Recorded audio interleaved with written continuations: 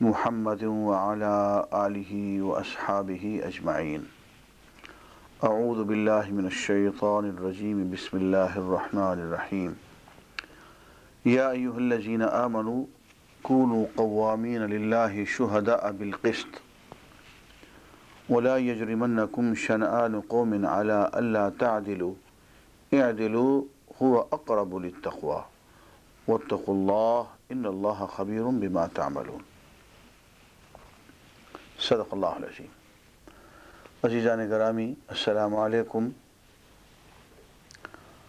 ہمارا آج کا موضوع ہے حضور اکرم صلی اللہ علیہ وسلم بحثیت پیکر عدل اور قانون ساز۔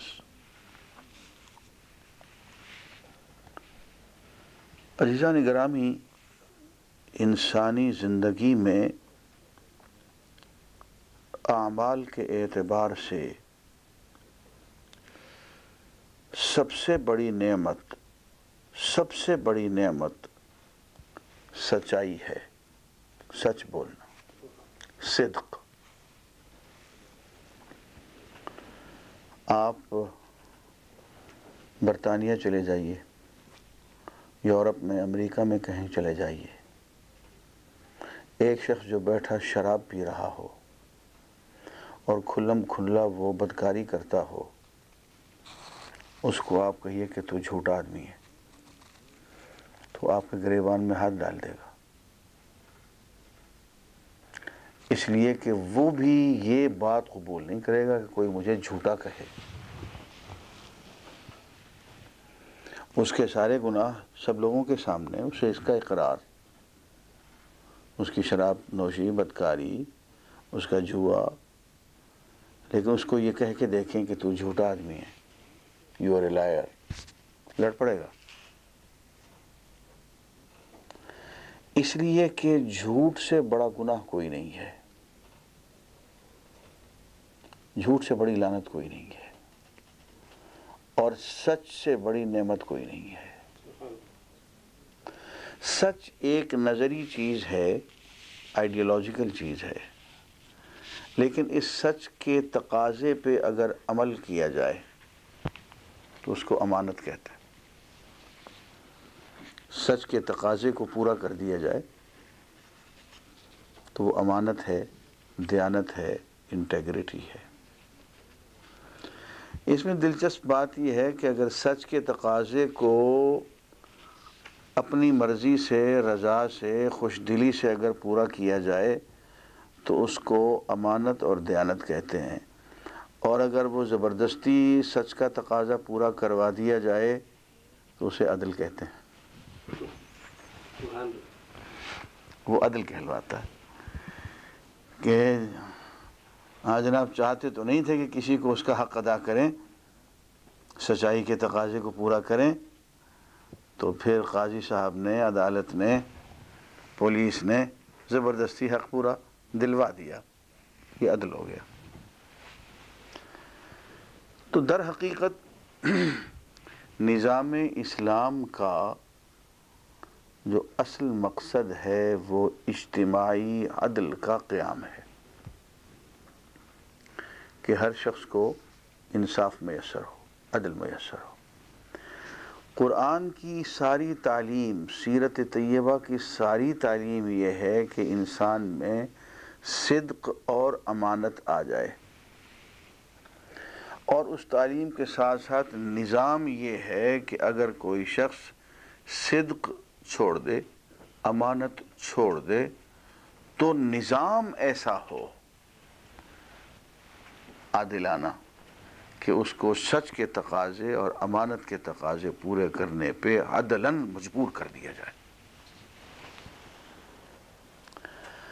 اچھا اس میں آپ ذرا غور فرمائیں کہ حضور اکرم صلی اللہ علیہ وسلم کے دو لقب ہیں بیست سے پہلے۔ ایک صادق اور دوسرا امین۔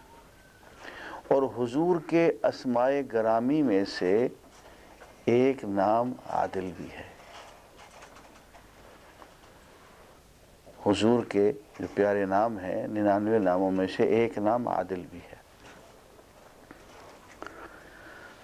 اچھا ایک عدل تو وہ ہوتا ہے نا جو کہ آپ عدالت میں بیٹھ کے بطور قاضی کے سر انجام دیں۔ ایک عدل وہ ہوتا ہے جو چوبیس گھنٹے کا آپ کا مزاج ہو۔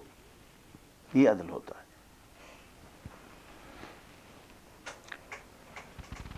اور یہ حضور اکرم صلی اللہ علیہ وسلم کا یہ عادلانہ مزاج آپ کے بچپن اور جوانی سے تھا۔ وہ حضر اسود کا واقعہ دیکھیں نا کہ جب وہ کعبے کی پھر سے تعمیر ہوئی اور حجر اسود اس میں رکھنے کا موقع آیا تو قریش میں لڑائی ہوگی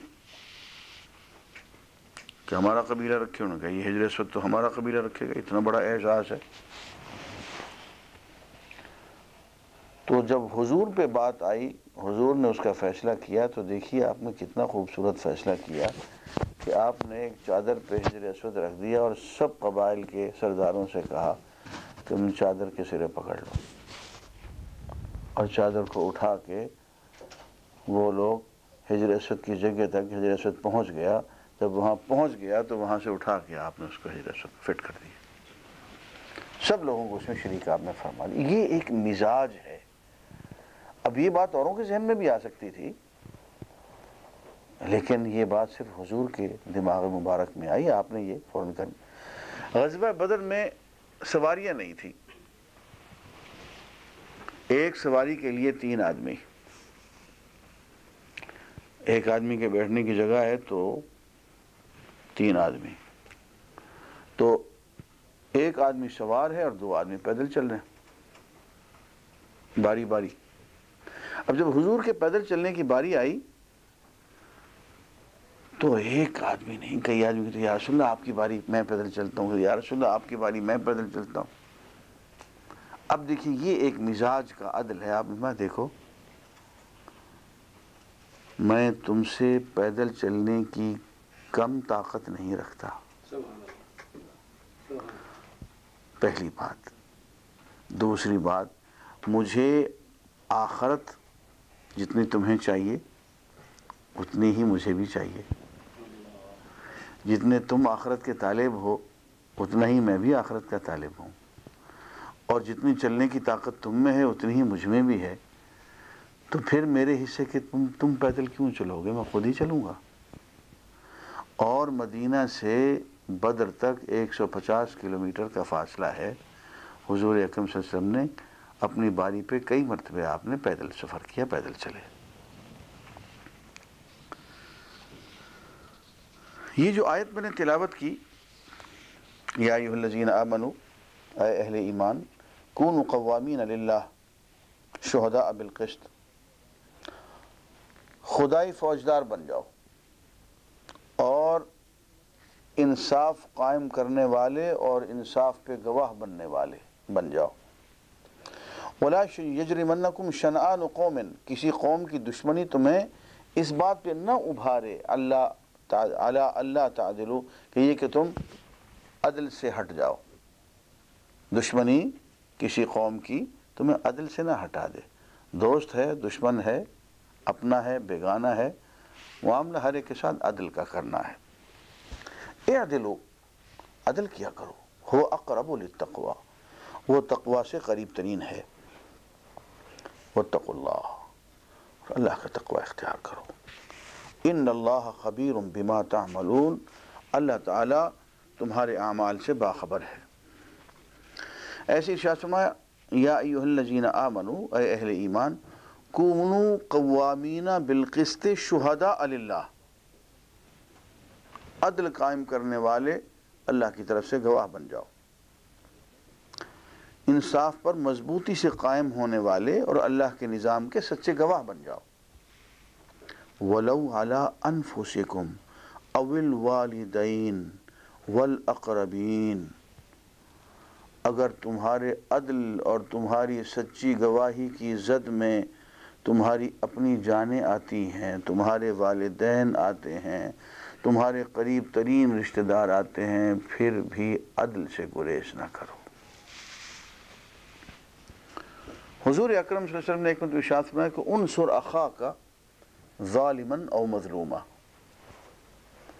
اب یہ جہالت کے زمانے، جاہلیت کے زمانے کی ایک کہاوت ہے، کہا کرتے تھے کہ انصر اخا کا اپنے بھائی کی مدد کیا کرو۔ ظالمن او مظلومہ خواہ تمہارا بھائی ظالم ہو، خواہ تمہارا بھائی مظلوم ہو، ہر حال میں تم اپنے بھائی کی مدد کیا کرو۔ یہ جاہلیت کے دور کا ایک مقولہ ہے۔ حضور نبی ارشاد فرما دیے کہ انصر اخا کا ظالمن او مظلومہ اپنے بھائی کی ہر حال میں مدد کیا کرو، خواہ وہ ظالم ہو، خواہ وہ مظلوم ہو۔ اب جو صحابہ کی حضور تربیت فرما چکے تھے، تو وہ صحابہ سن کے پریشان ہو گئے۔ اس لیے کہ اب تک کی تربیت یہ تھی کہ ظالم کی مدد نہیں کرنی ہے۔ ہمیشہ مظلوم کی مدد کرنی ہے۔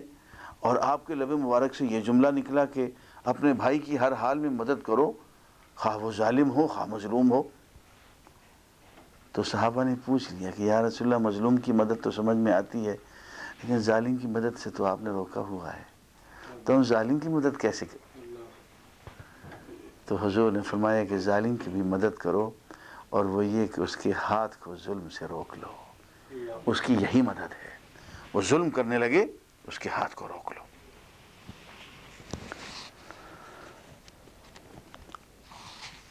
ایک چوری کا واقعہ ہو گیا۔ ایک قبیلے کی سردار اور اس کی بیٹی تھی اور نام بھی اس کا اتفاق سے فاطمہ تھا۔ چوری کر لی۔ چوری کرتے ہوئے پکڑی گئی۔ چوری کا اعتراف بھی کر لیا۔ تو حضور اکرم صلی اللہ علیہ وآلہ وسلم نے اس کے ہاتھ کاٹنے کا حکم دے دیا۔ اب لوگ پریشان ہو گئے کہ قبیلے کا سردار ہے، اس کی بیٹی ہے، اس کا ہاتھ کٹا۔ سیاسی طور پہ تو ایک ہڑباؤں گے، ایک مصیبت کھڑی ہو جائے گی، ایک پولیٹیکل کرائسس ہو جائے گا۔ اس لیے کہ قبائلی سیاست تو تھی بہرحال۔ تو لوگوں نے اس کا حل نکالنے کے لیے خود تو جرت نہ کی، حضرت زید بن حارثہ کے جو صاحبزادے تھے، حضرت اسامہ ان کی منت سماجت کی اور ان کو تیار کیا اور انہوں نے جا کے حضور سے سفارش کر دی۔ کہ یا رسول اللہ، کچھ نرمی فرمائیں۔ حالات کچھ ایسے ہیں کہ اگر اس عورت کا ہاتھ کٹ گیا تو یہ قبیلے کے سردار کی بیٹی ہے۔ ہمارے لیے کچھ مشکلات پیدا نہ ہوں۔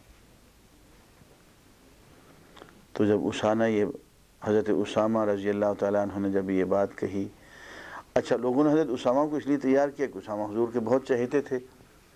پوتے کی شکل میں تھے، زید کو حضور نے بیٹا بنایا ہوا تھا، اسامہ ان کے بیٹے تھے۔ تو حضور اکرم صلی اللہ علیہ وآلہ وسلم غضبناک ہو گئے۔ آپ نے اس وقت اسامہ کو تو کچھ نہیں کہا، آپ فوراً ممبر پہ تشریف لے گئے، لوگوں کو اکٹھا کیا اور آپ نے خطبہ دیا۔ اور اس خطبے کے الفاظ میں ذرا یہ غور فرمائیے، یہ لفظ بھی ہیں۔ فرمایا کہ انما اہلک الذین قبلکم یا انما اہلک الذین قبلکم تم سے کچھ پہلے قومیں جو تھیں اس لیے ہلاک ہو گئیں. انہم کانوا اذا سرق فیہم الشریف کہ جب ان میں کوئی باعزت آدمی، بڑے گھرانے کا آدمی چوری کرتا تھا ترکو اس کو چھوڑ دیتے تھے. وَإِذَا سَرَقَ فِيهِمُ الضَّعِيفُ اور جب بیچارہ کوئی کمزور ناتواں غریب آدمی چوری کر لیتا تھا اقام علیہ الحدود اس پہ حد قائم کر دیتے تھے سزا دیتے تھے۔ ایم اللہ میں اللہ کی قسم کھا کے کہتا ہوں۔ لو ان فاطمة بنت محمد سرقت لقطعت یدہا۔ اگر محمد کی بیٹی فاطمہ نے چوری کی ہوتی تو میں اس کا بھی ہاتھ کاٹ دیتا۔ عزیزان گرامی یہ ہے انصاف کہ اس میں سیاسی تقاضے جو بھی ہوں، لیکن انصاف کا تقاضا ہر حال میں پورا کیا ہے۔ اور اس سے بڑھ کے انصاف کا کیا ہوگا کہ حضور اکرم صلی اللہ علیہ وسلم کے داماد ابو العاص بن ربیع، جو غزوہ بدر میں حضور کے مقابلے میں لڑ رہے تھے۔ گرفتار ہو گئے۔ اب گرفتار ہونے کے بعد باری آئی کہ بھئی آزاد کیسے ہوں؟ تو جو پڑھے لکھے لوگ تھے گرفتار ہونے میں، ان کو تو یہ کہا گیا کہ ہمارے دس دس آدمیوں کو لکھنا پڑھنا سکھا دو۔ آزاد۔ کوئی فدیہ نہیں، کوئی جرمانہ نہیں، کوئی سزا نہیں۔ استاد بن کے رہو، معزز بن کے رہو، بس ہمارے دس آدمیوں کو لکھنا پڑھنا سکھا دو۔ اور جو امیر لوگ تھے، ان سے کہا کہ فدیہ لاؤ، اس زمانے کا جو رواج تھا جان کی قیمت، آزادی کی مول۔ تو حضرت ابو العاص نے اپنے گھر پیغام بھیجا۔ حضور کی بیٹی کے پاس کہ بھائی فدیہ دو، جو تمہارے پاس زیور لتا کو جو چیز کوئی نقدی وقدی ہے، کچھ بھیجو تاکہ میں آزاد ہوں، میں تو گرفتار ہو چکا ہوں۔ اب وہ قیدیوں کا جب وہ فدیہ حضور کے سامنے سے گزر رہا ہے، بیت المال میں جا رہا ہے، تو اچانک لوگوں نے دیکھا کہ حضور اکرم صلی اللہ علیہ وسلم کی آنکھوں سے آنسو گرنے لگے۔ تو دیکھنے والوں نے دیکھا کہ ایک ہار ہے جس کو حضور دیکھ رہے ہیں اور آپ کی آنکھوں سے آنسو گر رہے ہیں۔ پتہ یہ چلا کہ یہ ہار سیدہ خدیجہ رضی اللہ تعالی عنہ کا ہے۔ محبوب بیوی، جس سے کہ آپ کی ساری اولاد، وہ محبوب بیوی کہ جس نے حضور کی نبوت اور رسالت کا اس وقت اعلان کر دیا، اس وقت ایمان لے آئیں، جبکہ حضور فرما رہے تھے کہ مجھے کچھ ہو گیا ہے۔ پتہ نہیں مجھے کیا ہو گیا ہے۔ تو سیدہ خدیجہ کا جب ہار دیکھا کہ وہ فدیے میں جا رہا ہے، تو آنکھوں میں آنسو آ گئے اور آنسو ٹپ ٹپ گرنے لگے۔ لیکن دیکھیے، عدل کا یہ تقاضا کہ آپ نے یہ نہیں فرمایا کہ ارے یہ تو میرے داماد کا، یہ میری بیٹی کا، یہ میری بیوی کا ہار ہے۔ اس کو چھوڑ دو۔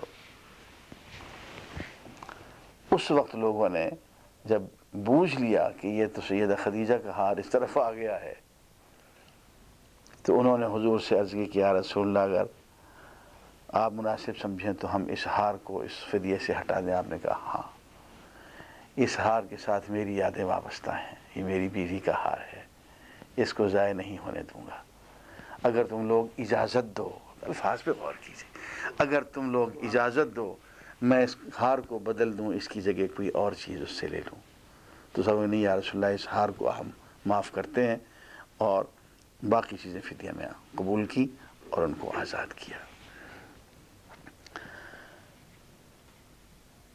عزیزان گرامی سید زینب رضی اللہ تعالیٰ عنہ عنہا کے خاون تھے یہ، ابو العاص بن ربی یہ ایک مرتبہ پھر پکڑے گئے۔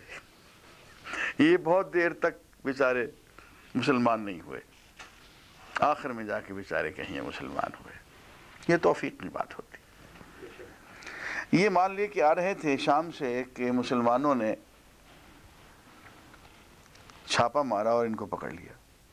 ان کا سارا تجارتی مال بھی قبضے میں لے لیا، ان کو بھی گرفتار کر لی۔ اب کوئی کیا جانے کہ یہ کون ہے؟ تو گرفتار ہو کے یہ پہنچ گئے۔ اب جو سید زینب کو پتہ چلا کہ میرا خامن گرفتار ہو گیا، اس کا مال بھی سارا، تو انہوں نے اونچی آواز سے یہ اعلان کیا، انی قد اجرت ابو العاص بن ربیع میں ابو العاص بن ربیع کو پناہ دیتی ہوں۔ اب مسلمانوں کو یہ حق پہنچتا ہے مسلمانوں میں سے کہ وہ جس کو چاہیں پناہ دے دیں۔ تو حضور نے فرمایا کہ انہو یجیر علی المسلمین ادنا ہو بھائی دیکھو، مسلمانوں میں کمزور سے کمزور مسلمان بھی جو ہے، وہ جس کو چاہے پناہ دے سکتا ہے۔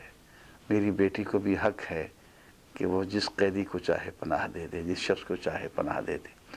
اس نے اگر پناہ دے دی ہے تو ہمیں اسے آزاد کرنا پڑے گا، پناہ دینا پڑے گا۔ تو اس طرح سے ابو العاص جو ہیں بیچارے، انہیں پناہ بھی دی گئی، انہیں آزاد بھی کیا گیا اور ان کا مال بھی ان کو واپس کیا گیا۔ عزیزان گرامی، بات یہ ہے کہ اسلام کے نظام عدل میں جو حضور اکرم صلی اللہ علیہ وآلہ وسلم نے ہمیں سکھایا ہے، اس میں ایک بڑی اہم بات یہ ہے کہ ہر شخص معزز ہے، ہر شخص مکرم ہے۔ کسی پہ کوئی الزام نہیں لگایا جا سکتا۔ اللہ یہ کہ کسی باقاعدہ عدالت میں کسی شخص کا جرم ثابت ہو جائے۔ فرمایا، اصل الاشیاء اباحہ۔ ہر چیز پاک ہوتی ہے، سوائے ان چند چیزوں کے جنہیں اللہ نے حرام قرار دیا۔ پوری زمین کو پاک اور طہور اور مسجد قرار دے دیا جہاں چاہو سجدہ دے لو۔ سوائے اس جگہ کے کہ جہاں گندگی آپ کو صاف صاف نظر آ رہی ہو۔ باقی ساری روح زمین پاک صاف ہے۔ اسی طرح سے ہر شخص جو ہے، وہ نیک ہے۔ ہر شخص مکرم اور محترم ہے۔ سوائے اس شخص کے جس کا جرم عدالت میں ثابت ہو جائے۔ اچھا جی جرم بھی عدالت میں کیسے ثابت ہوگا؟ اب یہ ذرا غور دیکھیے۔ فرمت البینت علی المدعی والیمین علی من انکر۔ کسی کے خلاف آپ نے مقدمہ دائر کر دیا، الزام لگا دیا، تو اب اس مقدمے میں جرم ثابت کرنا مدعی کا کام ہے مدعلے کا کوئی کام نہیں ہے۔ مدعلے کا یہ کام نہیں ہے کہ وہ اپنے آپ کو معصوم ثابت کرتا پھرے، نہیں، معصوم تو وہ ہے۔ بری تو وہ ہے، مکرم و محترم تو اس کو اللہ نے بنا دیا اس کو مجرم ثابت کرنا مدعی کا کام ہے۔ اور عدالت کا کام ہے کہ اس کو فیصلہ کر دے اس پہ۔ فرمایا کہ البینت علی المدعی والیمین علی من انکر۔ اور مدعا علیہ یہ کر سکتا ہے کہ اگر اس سے پوچھا جائے کہ تم نے یہ جرم کیا ہے، تو وہ انکار بھی کرے اور قسم بھی کھائے۔ قسم وہ کھا سکتا ہے کہ میں نے یہ جرم نہیں کیا۔ قسم اس پہ آن پڑے گی۔ اس سے زیادہ اپنے آپ کو معصوم اور اپنے آپ کو بڑی ثابت کرنا مدعلے کی ذمہ داری نہیں ہے۔ یعنی اونس آف پروف جو ہے سارے کا سارا وہ مدعی پہ اور بینیفٹ آف ڈاؤٹ شک کا فائدہ سارے کا سارا جو ہے مدعلے پہ۔ حضور اکرم صلی اللہ علیہ وسلم بحثیت قانون ساز کے بھی، یہ تو میں نے بحثیت عادل کے گفتگو کی، بحثیت قانون ساز کے جو آپ کا مقام ہے، وہ مقام انسانی تاریخ میں کسی اور کا نظر نہیں آتا۔ میں نے عرض کیا تھا کہ حضور کی جب بیست ہوئی صلی اللہ علیہ وسلم تو دو بڑی بڑی سیاسی طاقتیں، دو سپر پاورز شیطانی طاقتیں تھیں، رومن امپائر، ایرانین امپائر۔ قبائلی نظام تھا، لوٹ مار کا نظام، اغارات کا، غلامی کا۔ جو جس کو چاہے پکڑ لے، لوٹ مار لے، غلام بنا لے، لونڈی بنا لے، کوئی پوچھنے والا نہیں۔ اس زمانے میں حضور اکرم صلی اللہ علیہ وسلم نے بین الاقوامی قانون کی بنیاد رکھی۔ اس زمانے میں وار ایتھکس کی بنیاد رکھی۔ کہ اگر جنگ بھی ہو تو جنگ کو اس طرح سے لڑنا ہے۔ اب دیکھیے جنگ کے قوانین پہ غور فرمائیے۔ اور یہ پہلی مرتبہ دنیا میں یہ قانون آیا ہے، اس پہ عمل ہوا ہے۔ آپ میں دیکھو، جنگ کے دوران اگر تم کسی کے ساتھ عہد کرو تو عہد کی پاسداری کرو گے۔ اور جنگ کے دوران آپ نے فرمایا کہ لشکر کو بھیجا تو الفاظ پہ غور کیجیے۔ اغزو بسم اللہ فی سبیل اللہ من کفر باللہ۔ اللہ کے نام پہ جہاد شروع کرو۔ اللہ کی رضا کے لیے جہاد شروع کرو۔ اور ان لوگوں کے خلاف جو اللہ کا کفر کرتے ہوں لا تقدرو کسی کے ساتھ غدر نہ کرو۔ یعنی بد عہدی نہ کرو۔ ولا تغلو، نہ کسی کے ساتھ خیانت کرو۔ ولا تقتلوا ولیدن بچے کو قتل نہ کرو۔ ولا امراتن عورت پہ ہاتھ نہ اٹھاؤ۔ ولا کبیرن فانین، بہت بوڑھے شیخ پہ بھی کوئی ہاتھ نہ اٹھاؤ۔ ولا من منعزلا بصومعته، اور عبادت گاہ میں بیٹھے ہوئے کسی عابد پہ بھی کوئی ہاتھ نہ اٹھاؤ۔ ولا تقربوا نخلا ولا شجرتا ولا تهدموا بناء، نہ کسی باغ کے قریب جاؤ، نہ کوئی درخت کاٹو اور نہ کوئی عمارت گراؤ۔ میں پوچھتا ہوں ولا تمثلوا اور نہ کسی شخص کا مسئلہ کرو۔ ایک آدمی مر گیا، اس کو ناک کان بیٹھے کاٹ رہے ہیں۔ نہیں۔ ضم غنائمکم، اموال غنیمت سب ایک جگہ اکٹھی کر لیا کرو۔ وہ اسلح و احسن اصلاح کرو۔ جہاد کا مقصد اصلاح ہے۔ وہ احسن لوگوں کے ساتھ احسان کرو۔ ان اللہ یحب المحسنین۔ اللہ تعالیٰ احسان کرنے والوں سے پیار کرتا ہے۔ یسرو، لوگوں کے لیے آسانی پیدا کرو۔ اب یہ وار ایتھکس بتائی جا رہی ہے۔ ولا تعسرو لوگوں کے لیے مشکل پیدا نہ کرو۔ وہ سکنو اور لوگوں کو تسکین دو۔ ولا تنفرو اور انہیں نفرت دلا کے بھگاؤ نہیں۔ معلوم ہوا کہ جہاد کا مقصد بھی لوگوں کو دین کی طرف لانا، ان کے دل موہنا، ان کی آباد کاری کرنا، ان کے لیے آسانیاں اور آسائشیں پیدا کرنا ہے۔ اور کسی ایسے شخص پہ ہاتھ نہیں اٹھانا ہے جو ہم پہ ہاتھ نہ اٹھا رہا ہو۔ بچہ ہے، عورت ہے، بوڑھا ہے، عابد ہے۔ اور جائیداد کو، باغات کو، درختوں کو، عمارات کو کوئی نقصان نہیں پہنچانا ہے۔ میں پوچھتا ہوں اسلام سے پہلے، حضور کی تشریف آوری سے پہلے، اگر آپ کو یہ وار ایتھکس کہیں نظر آتی ہے دنیا کے کسی لٹریچر میں، تو ہمیں بھی بتا دیجیے۔ اور پھر دیکھیے، جہاد کی شرائط بتائی ہیں۔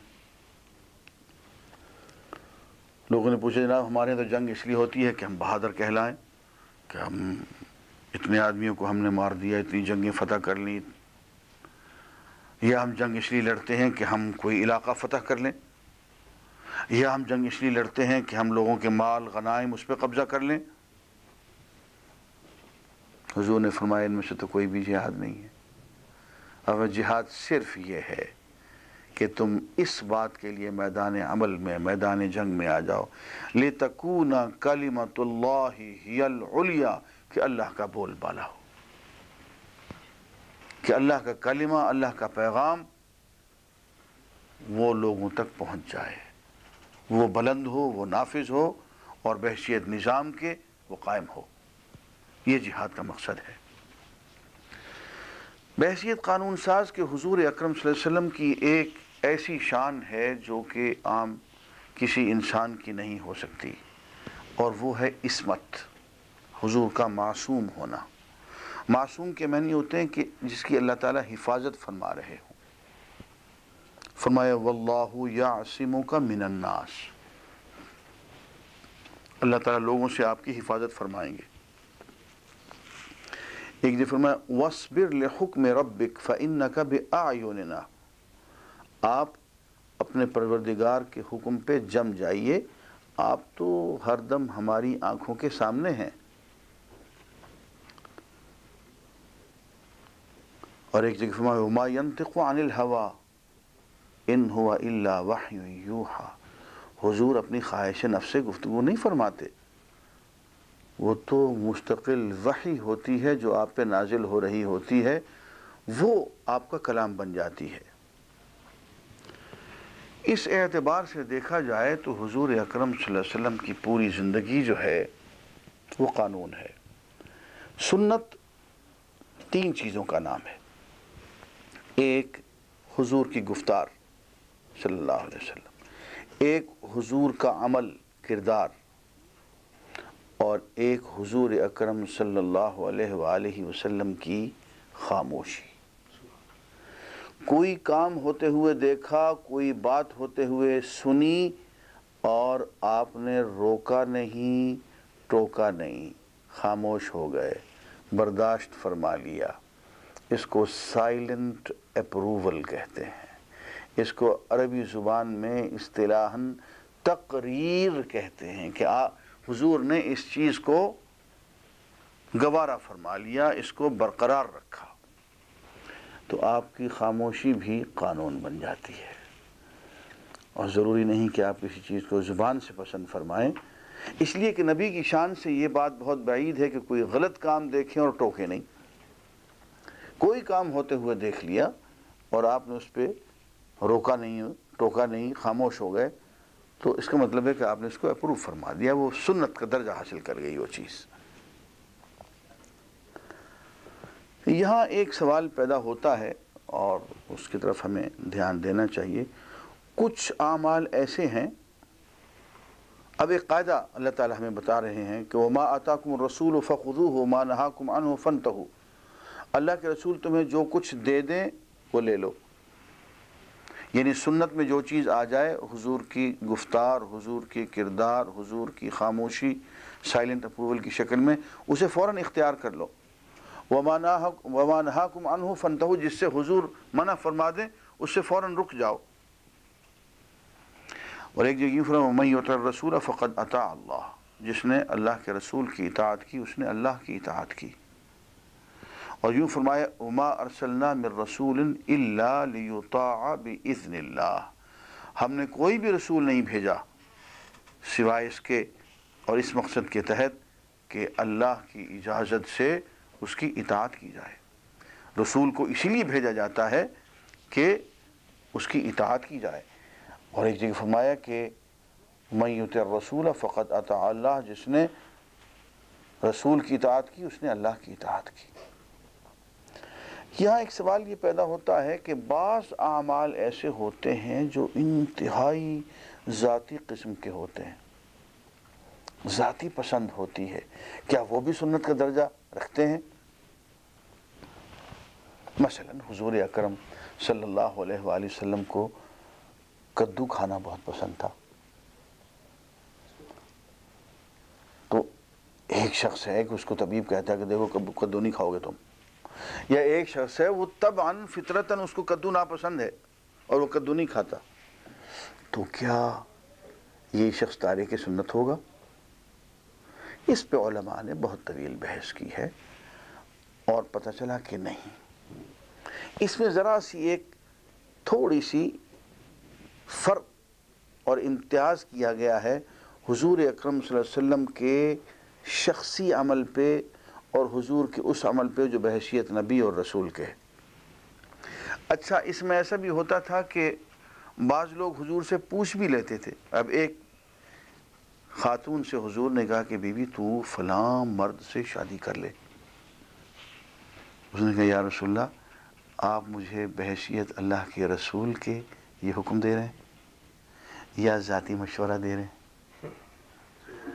حضور نے فرمایا، میں ذاتی مشورہ دے رہا ہوں۔ بحثیت رسول کے حکم نہیں دے رہا ہوں۔ یا رسول اللہ پھر میں معافی چاہتی ہوں۔ اب یہ ایک تفریق کرنا پڑے گی۔ اور اس زمانے میں لوگوں نے کی۔ غزوہ بدر کے دوران حضور نے ایک جگہ پڑاؤ ڈالا۔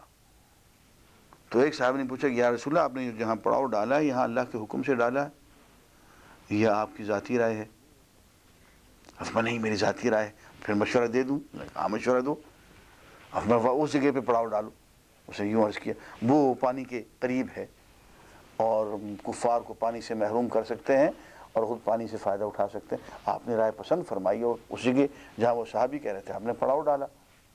تو معلوم ہوتا ہے کہ یہاں ذرا سا فرق کیا جا سکتا ہے، لیکن اس فرق کو سمجھنے کے لیے فرق والے چاہیے۔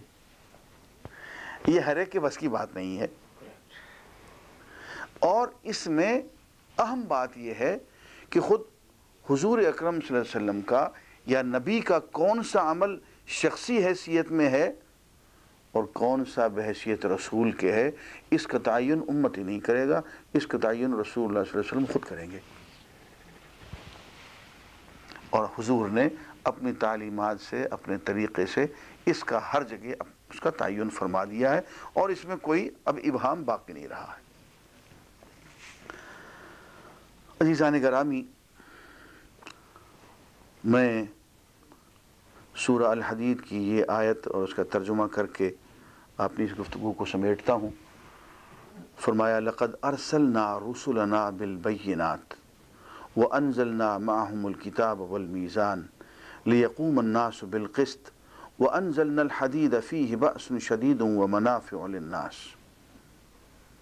فرماتے ہیں کہ ہم نے اپنے رسول بھیجے، کھلی کھلی نشانیاں دے کے، اور ان کے ساتھ ہم نے کتاب نازل کر دی، اور میزان ترازو بھی نازل کر دیا، تاکہ لوگ انصاف پر قائم ہو جائیں۔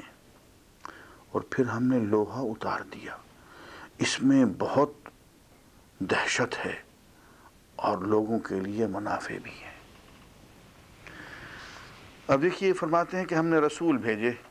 رسول کے ساتھ ہم نے بینات بھیجی، کھلی کھلی نشانیاں۔ پھر ہم نے کتاب نازل کر دی، پھر ہم نے عدل کا نظام بھی تمہیں دے دیا۔ ترازو بھی۔ میزان۔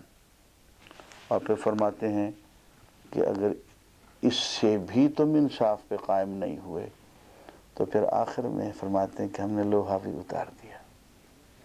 جس سے تلوار بنتی ہے، اسلحہ بنتا ہے، میزائل بنتے ہیں، ایٹم بم بنتا ہے۔ اس لیے کہ اسلام کا کام تو امن قائم کرنا ہے۔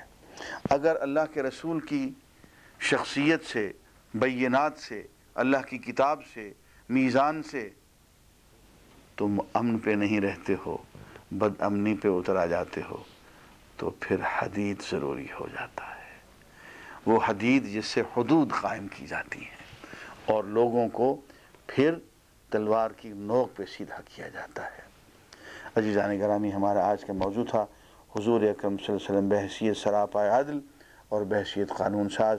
مجھے اس سلسلے میں اتنا کچھ عرض کرنا تھا۔ وآخر دعوانا الحمدللہ رب العالمین۔ آپ چاہیں تو سوالات کر سکتے ہیں۔ بسم اللہ الرحمن الرحیم۔ میرا نام محمد فاروق عزیز ہے۔ صاحب، آپ کی گفتگو سنی یہ فکرہ جو آپ نے بولا ہے چوری کے سلسلے میں جب حضور نے یہ فرما دیا کہ اگر میری بیٹی فاطمہ بھی چوری کرتی تو میں اس کے ہاتھ کاٹ دیتا میرا خیال اس کے بعد کوئی گنجائش نہیں ہے کسی سفارش کی گنجائش نہیں رہتی۔ قانون کی نظر میں بادشاہ فقیر امیر سب برابر۔ جتنے بھی لوگ ہیں یہ جتنی بھی ہم نے کلاسیفیکیشن کی ہوئی ہیں یہ مطلب سب لوگ برابر ہیں یہ قرآن تو عدل کا ایک ایسا نظام دے رہا ہے جس میں کوئی گنجائش نہیں ہے۔ یہ اب تھوڑی سا تھوڑا سا تجزیہ اپنے اس معاشرے کا کریں۔ میں یہاں لانا چاہتا ہوں آپ کو اس وقت۔ جو ہمارا عدالتی نظام ہے اور ہمارے جج صاحبان جس طرح عدل کے پرخچے اڑا رہے ہیں چند سکوں کے بس۔ ایک کیس کو میں جانتا ہوں میرے قریبی عزیز۔ تھے انہوں نے جج صاحب کو پانچ ہزار آفر کیے دوسری پارٹی نے دس ہزار دے دیے پہلے ان سے وعدہ کیا پھر ان سے کیا۔ دس ہزار لے کے ان کے ہاتھ میں دے دیا۔ ان کے لیے اسلام کیا کہہ رہا ہے؟ ٹھیک ہے here after they can not escape the wrath of God وہاں تو وہ پھنسیں گے۔ اللہ ان میں پکڑے گا۔ لیکن اس دنیا میں یہ جو عدل کی دھجیاں اڑا رہے ہیں ان کے لیے ڈاکٹر صاحب اسلام کیا کہہ رہا ہے؟ نہیں اسلام تو بہت واضح ہے۔ یہ عدل تو نہیں یہ تو ظلم ہے۔ اور عدلوں کے لیے کیا کوئی ہے حد ظاہر ہے کہ اس پہ ظاہر ہے کہ یہ تو بذات خود ظلم ہے اور خود تعزیر کی زد میں آتے ہیں یہ لوگ۔ ایسی شکل میں تو، اصل میں تو اس لیے تو پوری امت کا یہ مطالبہ ہے کہ نفاذ شریعت ہو، اسلامی قانون آئے۔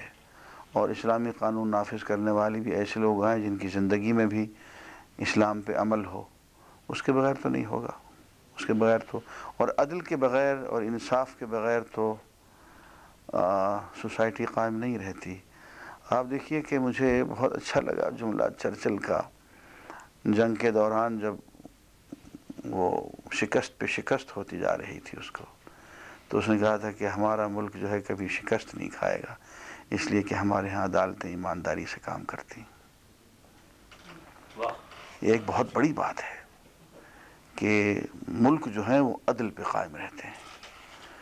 حضور نے فرمایا کہ اللہ تعالیٰ کفر کو تو گوارہ فرما لیتے ہیں لیکن ظلم کو گوارہ نہیں فرمایا کرتے۔ میں یہ محسوس کرتا ہوں کہ چرچل نے پھر قرآن ضرور پڑھا ہوگا جو اتنی بڑی بات کہہ گیا۔ ہاں ان لوگوں کا ہوتا ہے۔ جی۔ اور کوئی سوال؟ میرا نام محمد ارشد ہے۔ ڈاکٹر صاحب آپ کے بیان سے یہ بات واضح ہوئی کہ گواہی دینے میں بھی عدل ضروری ہے۔ لیکن آج کی سچویشن ایسی ہے کہ اگر کوئی شخص عدالت میں سچی گواہی دینا چاہتا ہے، لیکن مقامی پارٹی اس کو یہ کہہ دیتی ہے کہ اگر تم نے سچی گواہی دی تو تمہارا انجام موت ہے۔ اس آد- آدمی کو بھی یقین ہو جاتا ہے کہ اگر میں نے سچی گواہی دی تو یہ لوگ مجھے چھوڑیں گے نہیں، ضرور قتل کر دیں گے۔ اب ایک اور جگہ اللہ پاک فرما رہا ہے کہ آپ، بلکہ ایک قرآن پاک میں بھی آیا ہے اور اللہ پاک نے فرمایا ہے کہ اپنی جان کی حفاظت کرو۔ تو کیا اس آدمی کو اپنی جان کی حفاظت کرنا چاہیے یا گواہی دینے میں عدد میرا خیال یہ ہے کہ جان کی حفاظت تو اللہ میاں کے ذمے ہے۔ گواہی دینے میں عدل سے ہی اور سچائی سے کام لینا چاہیے۔ اس لیے کہ ایک جگہ قرآن مجید میں میں نے یہ آیت پڑھی اور مجھے بہت حوصلہ ہوا کہ ان اللہ یدافع عن الذین آمنوا۔ وہ لوگ جو ایمان لے آئے ہیں اور حالت ایمان میں ہیں اللہ تعالیٰ ان کا دفاع کرتا ہے۔ تو جب یہاں دفاع نہیں کرے گا تو پھر کہاں کرے گا؟ اس لیے کہ ایمان کی دولت کا جو اصل مشرف ہے وہ تو یہی ہے کہ آپ عدالت میں کھڑے ہو کے سچی گواہی دے دیں۔ یہاں پہ اللہ دفاع دفاع نہیں کرے گا تو کہاں کرے گا؟ آ, میرا مشاہدہ یہ ہے کہ وہ لوگ جو سچائی سے کام لیتے ہیں مجرم زیادہ دیر تک ان کے سامنے ٹھہر نہیں سکتا۔ عام طور پہ ہم لوگوں نے چونکہ جرم کا چلن عام کر دیا ہے، اس لیے سچ پناہیں ڈھونڈتا پھر رہا ہے۔ اسے جرت کی ضرورت ہے سچ کو۔ جی۔ میرا نام افتخار اجاز ہے، ڈاکٹر صاحب۔ میرا نام افتخار اجاز ہے۔ میرا آپ سے سوال یہ ہے کہ یہ جو ہمارے اس معاشرے میں عدل کی کرسی پر بیٹھے ہوئے لوگ پہلے تو حلفاً یہ بیان دیتے ہیں کہ ہم عدل کریں گے اور عدل کی کرسی پہ بیٹھ کے عدل نہیں کرتے۔ قیامت کے روز ان کا کیا حشر ہوگا؟ ان کا مقام ذرا بتا دیں۔ نہیں، وہ تو بہت واضح حدیث ہے ایسے لوگوں کے بارے میں کہ ان کا ٹھکانہ جہنم ہے۔ بہت واضح حدیث ہے۔ پہلی بات دیکھیے جی، ہمارے ہاں جو بزرگ تھے، وہ ایماندار تھے، وہ ڈر کے بارے قاضی نہیں بنتے تھے۔ امام حنیفہ نے اس بات پہ کوڑے کھا لیے اور قاضی بننے سے انکار کر دیا۔ اور ان کا تو بہت مشہور لطیفہ ہے نا۔ جب ان کو خلیفہ منصور نے کہا کہ آپ قاضی القضات بن جائیں، چیف جسٹس بن جائیں، تو امام حنیفہ نے کہا کہ میں اس کا اہل نہیں ہوں۔ تو اس نے کہا کہ امام صاحب، آپ سچ نہیں کہہ رہے۔ اس نے کہا، پھر تو آپ نے اور بھی ثابت کر دیا کہ میں اس کا اہل نہیں ہوں۔ کہ جو سچ نہیں بولتا ہے، وہ قاضی بننے کے اہل کہاں رہا؟ اب جو لوگ دیکھیے، اس انداز میں اپنی جان چھڑوا رہے ہوں۔ تو اصل میں اسی لیے ایک جملہ حضور نے فرمایا، جو قاضی بن گیا، اسے کند چھری سے ذبح کر دیا گیا۔ اس لیے کہ قاضی اگر حق اور سچ کے مطابق بھی فیصلہ کر رہا ہو، پھر بھی اس سے غلطی کا امکان ہے۔ اور جو اہل اللہ ہوتے ہیں، وہ اس سے ڈرتے رہتے ہیں۔ عدالت کی کرسی پہ بیٹھنا ایک بہت خطرناک کام ہے۔ لیکن اس کی فکر صرف ان لوگوں کو ہوتی ہے جو اہل اللہ ہوں، اہل حق ہوں۔ اور جنہیں صرف پیسے سمیٹنے ہوں، انہیں اس سے کیا؟ انہیں جس کرسی پہ چاہو بٹھا دو۔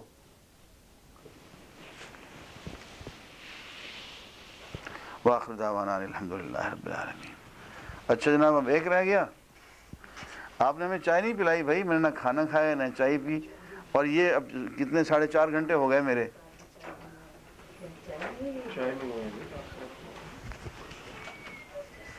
کیوں بھی تمہاری ریکارڈنگ ٹھیک ہو رہی ہے یا ایسے ہی ہمارا وہ جی دل بہلا رہے ہو۔ یہ ہم آ جا ان سے لے لینا تم ہیں۔ اوکے ان کی آگے کاپیاں بھی کروانا ٹھیک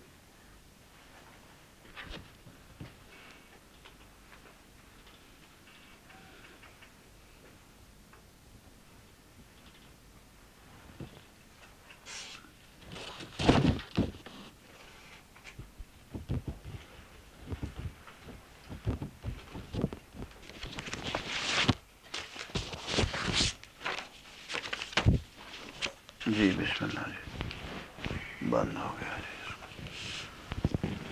جی چلیے صاحب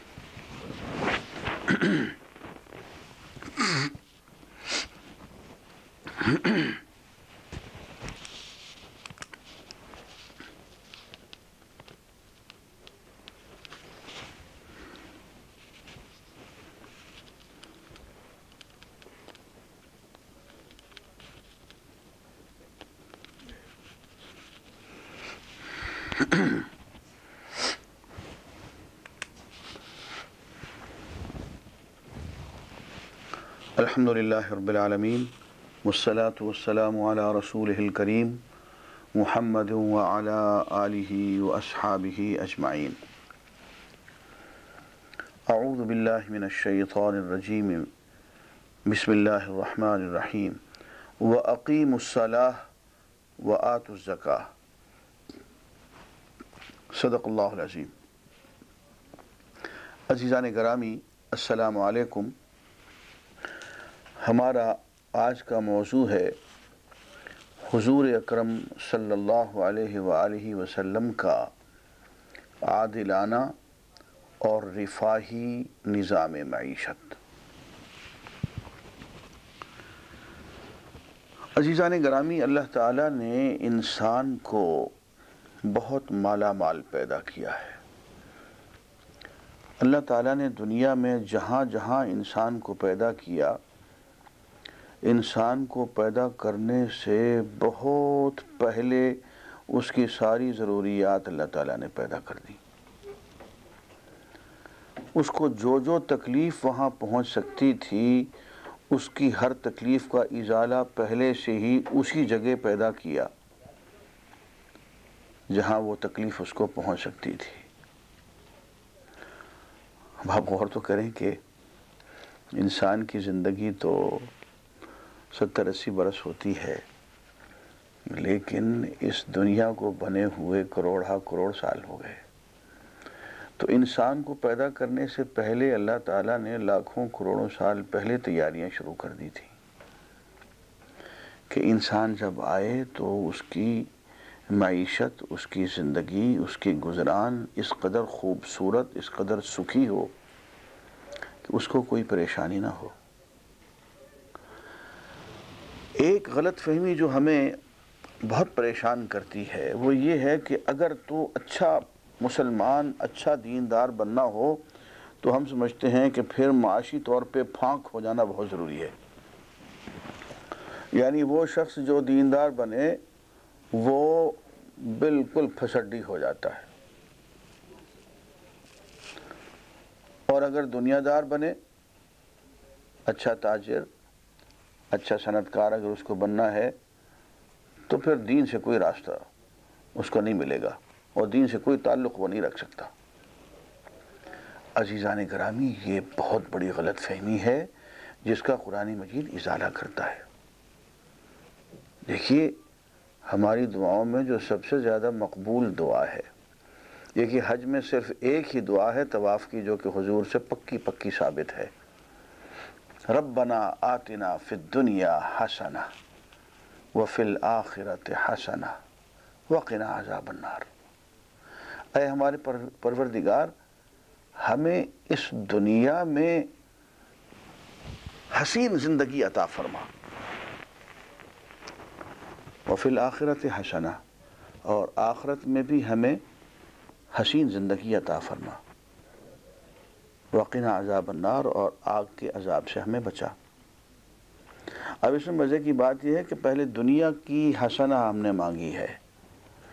اس لیے کہ جس کی دنیا کی زندگی حسین ہوگی، آخرت کی زندگی بھی اسی کی حسین ہوگی۔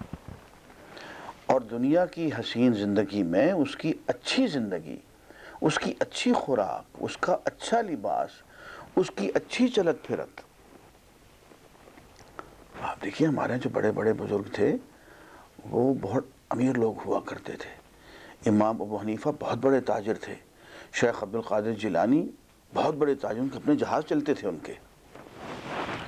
یہ بڑے بڑے ہمارے صوفیہ، کوئی پھانک قسم کے لوگ نہیں تھے، یہ ہاتھ پھیلائے ہوئے، یہ کوئی بھکاری قسم کے لوگ نہیں تھے۔ یہ بہت لٹانے والے لوگ تھے اللہ کے راستے میں، بہت خرچ کرنے والے لوگ تھے۔ تو پہلی بات تو یہ ہے کہ ہمیں خیر ملتی ہے دنیا کی دین کے راستے سے۔ ایسا نہیں ہے کہ اگر دین پہ چلیں تو پھر دنیا میں ہم بالکل پھانک ہو کے رہ جائیں۔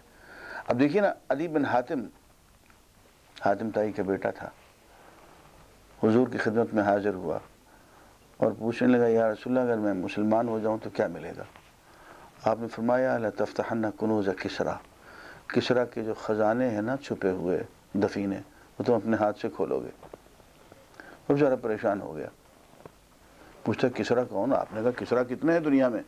کسرا بن حرمز ملک و ایران و من غیر ہو میں ہرمز کے بیٹے کسرا کی بات کر, با کر رہا ہوں جو ایران کا بادشاہ ہے۔ کتنے ہرمز کسرا ہیں دنیا میں؟ اسی کی بات کر رہا ہوں۔ اور پھر آپ نے فرمایا یا عادی لئن طالت بك حياة لترين رجل يخرج بملء كفه من الذهب يريد أن يتصدق به۔ ولن يجد أحدا يقبله. اے عدی اگر تمہاری زندگی لمبی ہوئی تو دیکھ لو گے ایک شخص یوں دونوں ہاتھوں میں سونا لیے لیے گلی کوچے میں پھرے گا۔ زکوٰۃ صدقہ دینا چاہے گا، قبول کرنے والا کوئی نہیں ہوگا۔ کہ سب لوگ صاحب نصاب ہوں گے، سب کے سب لوگ امیر کبیر۔ دینے والے ہوں گے، لینے والا کوئی نہیں ہوگا۔ اور ہم نے حدیث میں پڑھا کہ عدی بن حاتم کہتے ہیں کہ رسول اللہ کی دونوں باتیں درست نکلی اب میری عمر سو سال سے زیادہ ہے۔ سو سال کے قریب ہے میری عمر یا سو سال سے زیادہ ہے۔ لمبی عمر پالی ہے میں نے۔ اور لگتا ہے کہ دوسری بات جو حضور نے فرمائی ہے وہ بھی درست ہوگی۔ اور ہاں، حدیث سے پتہ چلا کہ دوسری بات بھی درست نکلی۔ عمر بن عبدالعزیز کے زمانے میں وقت وقت آ گیا۔ کہ پوری اسلامی سلطنت میں کوئی بھی زکوٰۃ لینے والا نہیں تھا اور پوری کی پوری زکوٰۃ بیت المال میں جا رہی تھی۔ پتہ یہ چلا کہ قرآن مجید میں لکھا ہے، وَلَوْ أَنَّ أَهْلَ الْقُرَىٰ آمَنُوا وَاتَّقَوْا لَفَتَحْنَا عَلَيْهِمْ بَرَكَاتٍ مِنَ السَّمَاءِ وَالْأَرْضِ۔ اگر یہ بستیوں کے لوگ ایمان لے آتے اور اعمال صالحہ اختیار کرتے، تو ہم آسمان سے و زمین سے ان کے لیے برکتوں کے دروازے کھول دیتے۔ انہیں امیر کبیر بنا دیتے۔ معلوم ہوا کہ دین پہ عمل کرنا انسان کو امیر بنا دیتا ہے۔ مجھے تو شرم آتی ہے۔ میں سعودی عرب میں تھا۔ ایک بچہ جو آٹھویں جماعت میں پڑھتا تھا، چھوٹا سا بچہ تھا، شاید ساتویں میں یا چھٹی میں پڑھتا تھا۔ مجھے کہنے لگا کہ شیخ تمہارے ملک میں تیل نکل آئے گا۔ میں نے کہا، کیوں؟ کہتا وہ تمہارے رئیس ضیاء الحق نے وہاں صدر کو رئیس کہتے ہیں۔ صدر ضیاء الحق نے کہا ہے کہ میں شریعت نافذ کرنے لگا ہوں۔ تو جہاں شریعت نافذ ہوتی ہے، وہاں تیل نکل آتا ہے۔ اب بات تو اس کی بچپنے کی تھی۔ لیکن سچی بات ہے کہ میں ٹھٹک کے رہ گیا۔ میں نے کہا، کیوں؟ شریعت کا تیل سے کیا تعلق ہے؟ کہتے واہ شیخ، تم سے تو اس سوال کی امید نہیں تھی۔ ہمیں نہیں دیکھتے ہو۔ ہمارے ابا بتاتے ہیں کہ ہم لوگ کئی کئی دن بھوکے رہتے تھے۔ ہم نے کبھی گندم کی شکل نہیں دیکھی تھی۔ لیکن جب ہمارے یہاں شریعت نافذ ہو گئی تو پھر اللہ تعالیٰ نے ایسی ایسی ہمیں نعمتیں دیں اور ایسی ایسی جگہ سے دیں جہاں کوئی ہمارا تصور نہیں کر سکتا تھا۔ اب وہ بات اس کی درست تھی۔ اس لیے کہ سورہ النور میں یہ بات لکھی ہوئی ہے۔ وعد اللہ الذین آمنوا منکم وعملوا الصالحات۔ ليستخلفنهم في الأرض كما استخلف الذين من قبلهم وليمكنن لهم دينهم الذي ارتضى لهم وليبدلنهم من بعد خوفهم امنا۔ اللہ نے وعدہ کر لیا ہے تم میں سے ان لوگوں کے ساتھ جو ایمان لے آئیں اور عمال صالحہ اختیار کر لیں کہ انہیں ضرور بالضرور اس زمین پہ حکومت عطا کر دے گا۔ خلافت عرضی۔ جیسے کہ تم سے پہلے، ان سے پہلے لوگوں کو خلافت عرضی عطا کی۔ وَلَيُمَكِّنَنَّ لَهُمْ دِينَهُمْ۔ اور اس دین میں انہیں تمکین عطا فرما دے گا۔ اللہ ارتضا لہم جو اللہ نے ان کے لیے پسند کیا ہے۔ تمکین کے معنی ہوتے ہیں قوت عطا کر دینا۔ امکانیات فراہم کر دینا۔ ذرائع و وسائل عطا کر دینا۔ مطلب یہ ہے کہ وہ دولت اور وہ ذرائع اور وسائل، مادی، روحانی، اخلاقی، وہ سب وسائل اللہ تعالیٰ عطا کر دے گا جو دین کو نافذ کرنے کے لیے درکار ہوتے ہیں۔ یہ دوسرا وعدہ۔ تیسرا فضل خوف امنا ہماری خوف و حراس کی اس کیفیت کو ختم کر کے امن و عافیت کی کیفیت لے آئے۔ تین وعدے ہیں اللہ کے۔ خلافت، دولت، امن۔ عزیزان گرامی، یہ دولت جو ہے، یہ کوئی نجس چیز نہیں ہے۔ یہ جاہل صوفیوں نے پھیلا رکھا ہے کہ یہ تو ناپاک ہے۔ اللہ تعالیٰ نے، دیکھیے دولت کو کتنا مقدس قرار دیا ہے۔ فرمایا کعبت جعل اللہ الکعبت البیت الحرام قیام للناس۔ اللہ نے کعبہ کو، بیت اللہ کو لوگوں کے قیام کا ذریعہ بنا دیا۔ قیام للناس۔ اب اس لفظ قیام للناس کو یاد رکھیے گا، آپ تو عربی جانتے ہیں۔ کہ لوگوں کے قائم رہنے کا ذریعہ اللہ نے بیت اللہ کو بنا دیا۔ ٹھیک ہے جی؟ اب اس آیت کو پڑھیے۔ لا تؤتوا السفهاء اموالکم۔ بے وقوف لوگوں کو اپنے اموال نہ دیا کرو۔ التي جعل اللہ لکم قیاما یہ اموال جاہل بے وقوف لوگوں کو نہ دیا کرو، کیونکہ ان اموال کو اللہ تعالیٰ نے تمہارے لیے قیامہ بنا دیا ہے۔ جیسے بیت اللہ کو قیامہ کہا قیامن للناس۔ ایسے ہی اموال کو اللہ تعالیٰ نے قیامن کا لفظ دیا کہ یہ تمہارے قائم رہنے کا ذریعہ ہے۔ روحانی طور پہ قیامن للناس ہمارے قائم رہنے کا ذریعہ بیت اللہ۔ اور مادی طور پہ ہمارے قائم رہنے کا ذریعہ یہ دولت، یہ معیشت، یہ اموال۔ اس لیے ان کو ناپاک، نجس کہنا جہالت کی بات ہے۔ یہ اللہ کی نعمت ہے۔ لیکن یہاں میں ایک اہم بات عرض کروں گا۔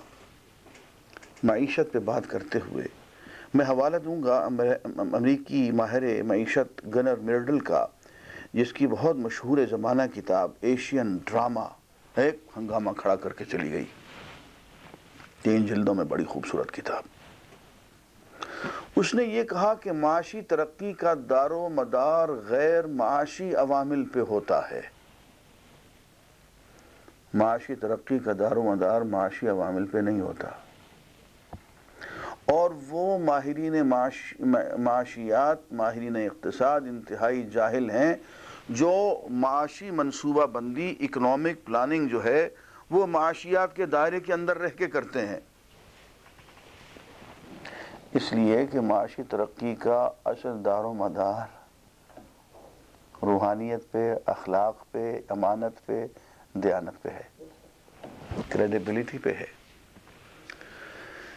ایک امریکی فلسفی آئے۔ میں اس زمانے میں طالب علم تھا، فلسفے کی کانفرنس تھی۔ ان کو عادت تھی رات کو دودھ پینے کی۔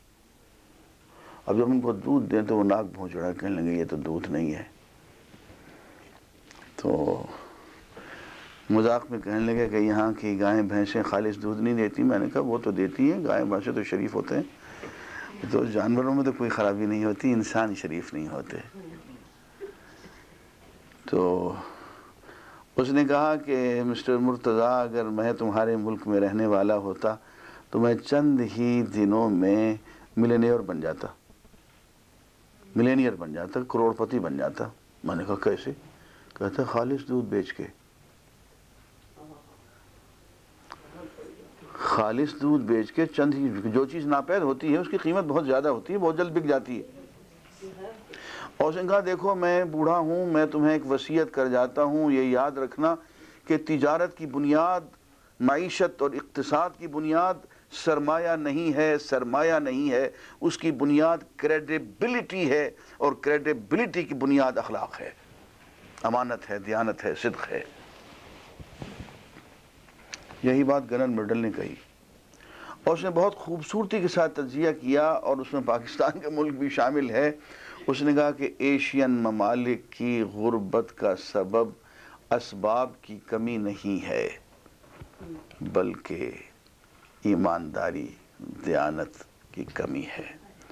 خوبصورت جملہ ہے کہ they are poor because they are corrupt وہ اس لیے غریب ہیں کہ وہ بدعنوان ہیں۔ ان کی ترقی کے سارے پیسے جو ہیں، ان کی سڑکوں کے، عمارتوں کے، سارے کے سارے جو ہیں، اسی فیصد سے زیادہ جو ہیں وہ۔ حرام کے راستے چوری ہو جاتے ہیں۔ یہاں ٹیکنیکلی میں پھر ایک بات عرض کروں، کیونکہ وہ تمہید باندھے بغیر میں اس طرف نہیں آ سکوں گا جو میں بعد میں کہنا چاہ رہا ہوں۔ اب معاشی، معاشیات کے طالب علم کے طور پہ میں عرض کروں کہ معاشیات کی تین بنیادیں ہوتی ہیں۔ معاشی عمل کی، ایک انسان، دوسرے سرمایہ۔ اور تیسرے اشیاء۔ اس کو انگریزی میں تھری ایمز کہا جاتا ہے۔ مین منی میٹیریل اس میں جو منی اور میٹیریل ہے، سرمایہ اور مواد۔ سرمایہ تو واضح ہے میٹیریل کیا ہوتا ہے؟ مثلا زمین ہے۔ زرعی زمین ہے کارخانے ہیں۔ اس میں آپ جتنی چاہیں سرمایہ کاری کر لیں۔ لیکن عزیزان گرامی، منی ہو، سرمایہ یا میٹیریل ہو، یہ محدود ہیں۔ آپ زرعی زمین کتنی بڑھا لیں گے؟ جو آپ کے پاس ہے وہ زمین کو تو آپ کھینچ کے ربڑ کی طرح بڑھا تو نہیں سکتے، وہ تو اتنی رہے گی۔ کارخانے جتنے ہیں، اتنے ایک لگانے کی ایک حد ہوگی، اس سے زیادہ تو آپ نہیں لگا سکتے۔ محدود۔ سرمایہ کاری محدود۔ اشیاء محدود۔ ان کو ہم نان ویریبل کہا کرتے ہیں۔ وہ جن میں کہ زیادہ تبدیلی نہیں آ سکتی۔ مین انسان، اس کی صلاحیتیں، اس کا جذبہ، اس کی کیپیسٹی اس کا مرال اس کی کوئی حد نہیں۔ اس کو ہم ویریبل کہتے ہیں۔ اسی لیے ماہرین معیشت نے کہا کہ بہت بیوقوف قوم ہوتی ہے جو کیپٹل انٹینسو ٹیکنیکس اختیار کرے معاشی عمل کے لیے۔ ایسے طریقے اختیار کرے جس میں صرف سرمایہ ہی سرمایہ اکٹھا کیا جا رہا ہو، جس میں صرف اشیاء ہی اشیاء پہ زور دیا جا رہا ہو۔ کہتے ہیں کہ اصل سرمایہ کاری یہ ہے اصل انویسٹمنٹ یہ ہے کہ مین پہ زور دیا جائے، کیونکہ اس کی صلاحیت کو بڑھانا، اس کی تعلیم کو بڑھانا، اس کے عمل کو بڑھانا، اس کی کیپیسٹی آف ورک اور اس کی capacity to deliver the goods کہ وہ کتنا نتائج دے دیتا ہے اس کو بڑھانا کہتے اس کی کوئی حد نہیں ہے۔ اس کو وہ لیبر انٹینسو ٹیکنیک بتاتے ہیں کہ یہ وہ ٹیکنیکس ہیں جس سے کہ انسان کی حیثیت کو، صلاحیت کو بڑھایا جاتا ہے۔ یہاں میں کروں گا کہ میں نے ایک، جب میں نیپا میں تربیت پا رہا تھا تو میں نے ایک مضمون لکھا تھا اور اس کا عنوان تھا ہیومن کیپٹل نیگلیکٹڈ ریسورس تو جو ہیومن کیپٹل ہے، جو انسان کی اپنی ذات ہے بطور سرمایہ کے، اس کو ترقی دینا اسلام کا اصل کام یہ ہے۔ یہاں سے معاشی ترقی کی ابتدا ہوتی ہے کہ سب سے پہلے انسان کو سنبھال لیں کہ وہ امین بن جائے، صادق بن جائے، امین بن جائے، اور کسی چوری چکاری کا بد، بددیانتی اور بدعنوانی کا کوئی امکان باقی نہ رہے۔ اگر یہ کسی طرح سے گارنٹی ہو جائے تو ملک اور پوری قوم اپنے پاؤں پہ کھڑی ہو جاتی ہے۔ پھر اسے کسی قرضے کی ضرورت نہیں ہوتی ہے، پھر اس کے یہاں کوئی مشکل باقی نہیں رہتی ہے۔ اب دیکھیے آتے ہیں اس موضوع کی طرف۔ فرماتے ہیں وہ عقیم الصلاح وہ آت زکا۔ نماز قائم کرو، زکوٰۃ ادا کرو۔ آپ کو یہ سن کے حیرت ہوگی کہ قرآن مجید میں الصلاح اور الزکا ہمیشہ اکٹھے آتے ہیں۔ اردو میں تو ہم نماز روزہ نماز روزہ کہتے ہیں۔ عربی میں، قرآن مجید میں کہیں الصلاۃ و سوم آپ کہیں نہیں پڑھیں گے۔ الصلاح کے بعد الزکاة آتا ہے۔ اور وہ اس لیے آتا ہے کہ سلاد کا لازمی نتیجہ زکوٰۃ ہے۔ سلاد جو ہے، نماز جو ہے، وہ زکوٰۃ پہ پہنچا دیتی ہے۔ اب آپ دیکھیں گے سلاد جو ہے، وہ روحانی عمل ہے، اخلاقی عمل ہے، عبادت ہے، زکوٰۃ جو ہے، معاشی عمل ہے۔ مادی عمل ہے۔ دوسروں کو پیسے دینا، پیسے لینا۔ لیکن اس زکوٰۃ، اس مادی عمل کی بنیاد میں الصلاح کھڑی ہوئی ہے، نماز کھڑی ہوئی ہے۔ اگر آپ نماز نہیں پڑھیں گے تو زکوٰۃ ادا نہیں کر پائیں گے۔ اب اس کا تھوڑا سا ہم تجزیہ کرتے ہیں، دیکھیں کہ وہ کیا ایک رفاہی نظام معیشت کیسے وجود میں آتا ہے۔ ایک شخص ہے، آپ پہلے نماز کا نظام قائم کرتے ہیں۔ صرف نماز پڑھ ڈالنا یہ حکم نہیں ہے۔ نماز کا ایک نظام قائم، اور وہ ایک نظام تربیت ہے۔ وہ ایک ایسے نظام ہے جس میں ایک ایٹیچوڈ بنتا ہے۔ کیا ایٹیچوڈ بنتا ہے؟ دیکھیے میں غور کرتا ہوں۔ نماز میں جو اللہ کی صفات ہیں، بعض ایسی صفات ہیں کہ آپ ان کا بہت تندہی کے ساتھ اور بہت خشوع اور خضوع اور توجہ کے ساتھ آپ اس کا ورد کرتے ہیں۔ بسم اللہ الرحمن الرحیم. الحمد للہ رب العالمین. الرحمن الرحیم. تو دیکھیے یہ تین صفتیں ہیں جتنا آپ ذکر ان کا کرتے ہیں، اللہ کی اور صفات کا اتنا ذکر آپ نماز میں نہیں کرتے ہیں۔ ایک صفت ہے رحمان، دوسری صفت ہے رحیم اور تیسری صفت ہے رب رب العالمین۔ اور عزیز جانکاری میں آپ کی خدمت میں ایک بات درس کروں۔ آپ اللہ کی جن جن صفات کا جتنی کثرت سے، جتنی توجہ سے ذکر کریں گے، وہ صفات آپ کے اندر منعقص ہوں گی۔ رحمانیت منعقص ہوگی، رحیمیت منعقص ہوگی۔ رحم، محبت، مامتا، شفقت، ایثار اور ربوبیت پالنا۔ یہاں سے بخل کی جڑ کٹ جاتی ہے، انانیت کی خود پرستی کی، اپنی ذات تک مال کو محدود رکھنے کی جڑ کٹ جاتی ہے۔ نمازی کا پہلا کام ابتدائی تکمیل تو تکمیلی مراحل تو بہت بعد کی چیز ہے۔ ابتدائی مرحلہ یہ ہے کہ اس کے اندر اللہ کی، رحمان کی، رحیم کی، رب، ربوبیت کی صفت جو ہے، اس کے اندر جلوہ گر ہونے لگتی ہے۔ اور اسی لیے اس میں ایک مامتا، ایک شفقت، جذبہ خدمت اور ایک ایثار کا جذبہ اس کے اندر پیدا ہوتا ہے۔ اسی لیے نمازی کی یہ صفت اللہ تعالیٰ نے بیان کی ہے۔ یؤثرون علی انفسہم۔ اپنی ذات کے مقابلے میں دوسروں کو ترجیح دیتے ہیں، دوسروں کے لیے قربانیاں کرتے ہیں۔ وَلَوْ كَانَ بِهِمْ خَصَاصَ حالانکہ خود بہت تنگی کے عالم میں ہوتے ہیں۔ خود بھوکے ہوتے ہیں، لیکن اپنے حصے کا کھانا اٹھا کے دوسرے کو دے دیتے ہیں۔ خود بہت بے چارگی بے سر و سامانی کے عالم میں ہوتے ہیں، لیکن جو کچھ ان کے پاس سر و سامان ہوتا ہے، وہ دوسرے ضرورت مند کو دے دیتے ہیں اور خود صبر کر کے بیٹھ جاتے ہیں۔ آپ نے حدیث میں واقعات پڑھے کہ مہمان آیا تو حضور نے کہا کہ میاں، اس کی میزبانی تم کرو گے اس نے کہا جی ہم کریں گے۔ ہم گھر میں کھانا کچھ نہیں تھا۔ تو صلی اللہ کے بندے نے بتی بجھا دی۔ باتوں میں ہاں، طریقے میں بتی بجھا دی، مہمان کو گھر کا کھانا کھلا دیا اور سارے بچے بھی، خود بھی بھوکے سو رہے۔ یہ کیا ہے؟ یہ وہ نماز کا اثر ہے طبیعت میں۔ یؤثرون علی انفسہم، دوسروں کو اپنی ضرورت پہ ترجیح دیتے ہیں۔ حالانکہ ان کی اپنی ضرورت بھی بہت سخت پریشان کن ہوتی ہے۔ اور فرمایا، المؤمن ما الف، مؤمن الفت کا سراپا بن جاتا ہے۔ ولا خیر فی من لا یؤلف ولا یؤلف۔ اس شخص میں کوئی خیر نہیں ہے جو نہ دوسروں سے الفت کرے، نہ اس سے الفت کریں لوگ۔ اب یہ بات یہاں تک سمجھ لینے کے بعد اب دیکھیے کہ نماز جو ہے کیا کام کرتی ہے۔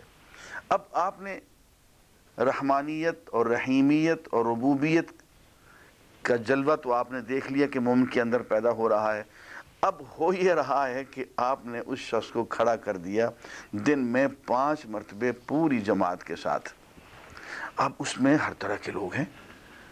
یہ آدمی بہت اجلے کپڑے پہن کے خوشبو لگا کے آیا ہوا ہے۔ اچھا سا، یہ آدمی آیا بیچارہ بہت میلے کپڑے پہنے ہوئے ہیں۔ یہ آدمی اس کے پھٹے ہوئے کپڑے ہیں۔ اچھا بھئی یہ دوسرا آدمی ہے، نماز تو پڑھ رہا ہے لیکن چہرہ بہت مرجھایا ہوا ہے۔ اور فلاں آدمی تو بیچارہ کرا رہا ہے، لڑکھڑاتے ہوئے مسجد میں آئے، بیچارہ بیمار ہے۔ ارے، وہ فلاں صاحب تو آئی ہی نہیں ہے کیا پتا؟ کیا ہوا ان سے؟ پتہ چلا وہ ہسپتال میں داخل ہے اب یہ نماز با جماعت کیا ہوئی؟ یہ ایک اجتماعی باہمی خبرگیری کا عمل ہو گیا۔ کہ آپ کو دن میں ایک مرتبہ نہیں، دن میں پانچ مرتبہ آپ کو پتہ چل رہا ہے کہ میرا فلاں ہمسایہ، میرا فلاں دوست جو ہے، اس کو فلاں غم لاحق ہوا، فلاں کو فلاں بیماری لاحق ہوئی، فلاں کو فلاں پریشانی ہوئی۔ اب آپ ایک ایک کی خبر گیری بھی کر رہے ہیں، ایک ایک کی مالی مدد کو بھی جا رہے ہیں، کسی کی آپ عیادت کے لیے جا رہے ہیں، کسی کو دوائی دینے کے لیے جا رہے ہیں اور کوئی بیچارہ فوت ہو گیا تو اس کی تعزیت کو جا رہے یہاں سے زکوٰۃ کا عمل شروع ہو گیا۔ آپ نے مالی مدد دینا شروع کر دی۔ تو یہ نماز کے راستے سے آپ یکلخت آپ زکوٰۃ کے اندر داخل ہو گئے۔ اور اپنے قریبی رشتہ داروں اور اپنے ہمسایوں کہ آپ نے مالی امداد اور ان کی خدمت اور اور کچھ نہیں تو ان کے ساتھ بیٹھ کے ان کی دل جوئی یہ کام آپ نے شروع کر دی یہ یہ وجہ ہے کہ عقیم الصلاح کے بعد آت و زکوٰۃ کا ظفر آ جاتا ہے۔ قرآن مجید میں بیسیوں جگہ آپ پڑھیں گے، جہاں عقیم الصلاح آیا ہے، فوراً ہی وہ آت و زکا آ گیا ہے۔ اچھا اب میں عرض کرنا چاہوں گا کہ یہ زکوٰۃ کا عمل ہے کیا؟ یہ صدقہ کا عمل، یہ قرض حسنہ کا عمل۔ اب قرض حسنہ کے بارے میں فرمایا کہ کسی شخص کو قرض دے دینا، اس کو صدقہ کر دینے سے بھی دگنا اجر رکھتا۔ آپ ایک شخص کو فرض کیجیے دو سو روپے خیرات کر دیتے ہیں، فرمایا اگر دو سو کے مقابلے میں ایک سو روپے اس کو قرض دے دو، اس کا اجر زیادہ ہے۔ دو سو کے برابر ہے، دگنے اجر کے برابر ہے۔ قرض حسنہ قرض حسنہ کیا ہے؟ کہ آپ نے کسی کو قرض دیا اس شکل میں کہ میاں جب آسانی سے ہو سکے تو واپس کر دینا۔ یہ قرض حسن ہے۔ ایسا نہیں کہ ایک وقت معین ہے اور معین وقت میں اس نے نہیں دیا تو آپ ڈنڈا لے کے اس کے پیچھے پڑ گئے۔ قرض حسنہ صدقہ صدقہ کیا ہے؟ وفی اموالہم حق معلوم للسائل والمحروم۔ ان کے اموال اور ان کی جائیدادیں جو ہوتی ہیں، وہ ایسی ہوتی ہیں کہ ان کے اندر ایک مقررہ حق وہ رکھ دیتے ہیں کہ یہ تو ہم ہے ہی نہیں، ہمارے تم نے بار دینا ہی دینا ہے۔ سائل کو دینا ہے، محروم کو دینا ہے۔ اور دیکھیے انفاق کیا ہے۔ فرمایا یسألونک ماذا ينفقون۔ اے نبی صلی اللہ علیہ وسلم، لوگ آپ سے پوچھتے ہیں کہ اللہ کے راستے میں کتنا خرچ کریں۔ قل العفو۔ ان کو فرما دیجیے کہ جتنا بھی تمہاری ضرورت سے زائد ہے، اللہ کے راستے میں خرچ کر سکتے ہو۔ اب یہاں پتہ چلا کہ ایک تو کم سے کم خرچ کرنے کی حد ہے اور وہ ہے زکوٰۃ، اڑھائی فیصد تو دینا ہی دینا ہے۔ اور ایک حد یہ ہے کہ ضرورت سے زائد جو بھی ہے، وہ اللہ کے راستے میں دے دو۔ اور اس میں ایک اور حیرت کی بات ہے، میں آپ کی خدمت میں عرض کروں۔ مجھے ایک بزرگ نے بتایا اور اس کی تشریح پڑھ سن کے ان سے میں بہت حیران رہ گیا۔ انہوں نے کہا، بیٹے، کسی چکر میں مت رہنا، یہ آیت جو آئی ہے، یہ صحابہ کرام کو انفاق اللہ کے راستے میں خرچ کرنے پہ، ابھارنے پہ نہیں آئی ہے، روکنے پہ آئی ہے۔ میں نے کہا جی کیسے؟ اس بات کو ذرا دھیان سے سنیے گا۔ فرماتے ہیں، صحابہ کرام کی حالت یہ ہو گئی تھی کہ اپنے گھر میں نان نفقے کا انتظام نہیں کرتے تھے، اپنے گھر والوں کی ضرورت پوری نہیں کرتے تھے، اپنی ذاتی ضرورت پوری نہیں کرتے تھے، خود بہت تنگی کے عالم میں رہتے تھے اور سارے کا سارا باہر دے دیتے تھے۔ کہنے کہ ان پہ پابندی لگائی گئی۔ کہ دیکھو وہ خرچ کرنا ہے جو تمہاری ضرورت سے زائد ہو۔ پہلے اپنی ضرورت پوری کر لو۔ ہمارے لیے تو یہ ایک دوسری طرف سے ایک انتہا ہے کہ جو ضرورت سے زائد ہے وہ خرچ کر ڈالیں۔ صحابہ کے لیے یہ ایک پابندی تھی کہ وہ اتنا خرچہ کر رہے تھے کہ اپنی جان پہ ظلم کیے چلے جا رہے تھے۔ اپنے بیوی بچوں کے حقوق ان سے پورے نہیں ہو رہے تھے۔ ان کو روکنے کے لیے کہ دیکھو پہلے اپنے بیوی بچوں کے حقوق پورے کر لو، والدین کے حقوق، اپنے نفس کے حقوق پورے کر لو، جو بچ جائے تو پھر اللہ کے راستے میں خرچ کرو۔ بے شمار ایسے واقعات ہوئے۔ ایک صحابی نے کہا، یا رسول اللہ، میں اپنا یہ، اپنی ساری جائیداد اللہ کے راستے میں دیتا ہوں۔ آپ نے کہا، نہیں، بہت زیادہ ہے یہ۔ یا رسول اللہ، میں نصف دیتا ہوں۔ آپ نے کہا، نہیں نہیں نہیں، یہ بھی بہت زیادہ ہے۔ اس نے کہا یا رسول اللہ میں پھر ایک تہائی دے دوں۔ آپ نے کہا ہاں۔ آپ نے سلس وہ سلس و کشیر اور ایک تہائی بھی بہت زیادہ ہوتی ہے۔ تو حضور نے صحابہ پہ یعنی صحابہ اتنی چارجڈ ہو گئے تھے، انفاق میں اور سخاوت میں اتنا آگے بڑھ گئے تھے کہ قدم بقدم پہ قرآن مجید کو، خود حضور اکرم صلی اللہ علیہ وسلم کو بریکیں لگانا پڑی کہ بھئی اس سے زیادہ تم خرچ نہیں کر سکتے ہو۔ اپنی بیوی بچوں کا خیال رکھو۔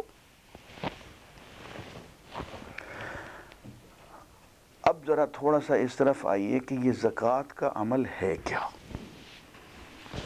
اور اس کے معاشرے پہ کیا اثرات مرتب ہوتے ہیں؟ عزیزان گرامی، پھر ذرا معاشی زندگی میں ایک بات میں آپ کی خدمت میں عرض کروں کہ ہر سرمایہ دار کے پاس جو دولت ہوتی ہے، وہ دو شکلوں میں ہوتی ہے۔ ایک وہ دولت ہوتی ہے جس کو وہ ایکٹیو انویسٹمنٹ میں لے آتا ہے۔ یعنی باقاعدہ سرمایہ کاری کرتا ہے، اس کو اپنی دکان پہ، اپنے کارخانے پہ لگا دیتا ہے۔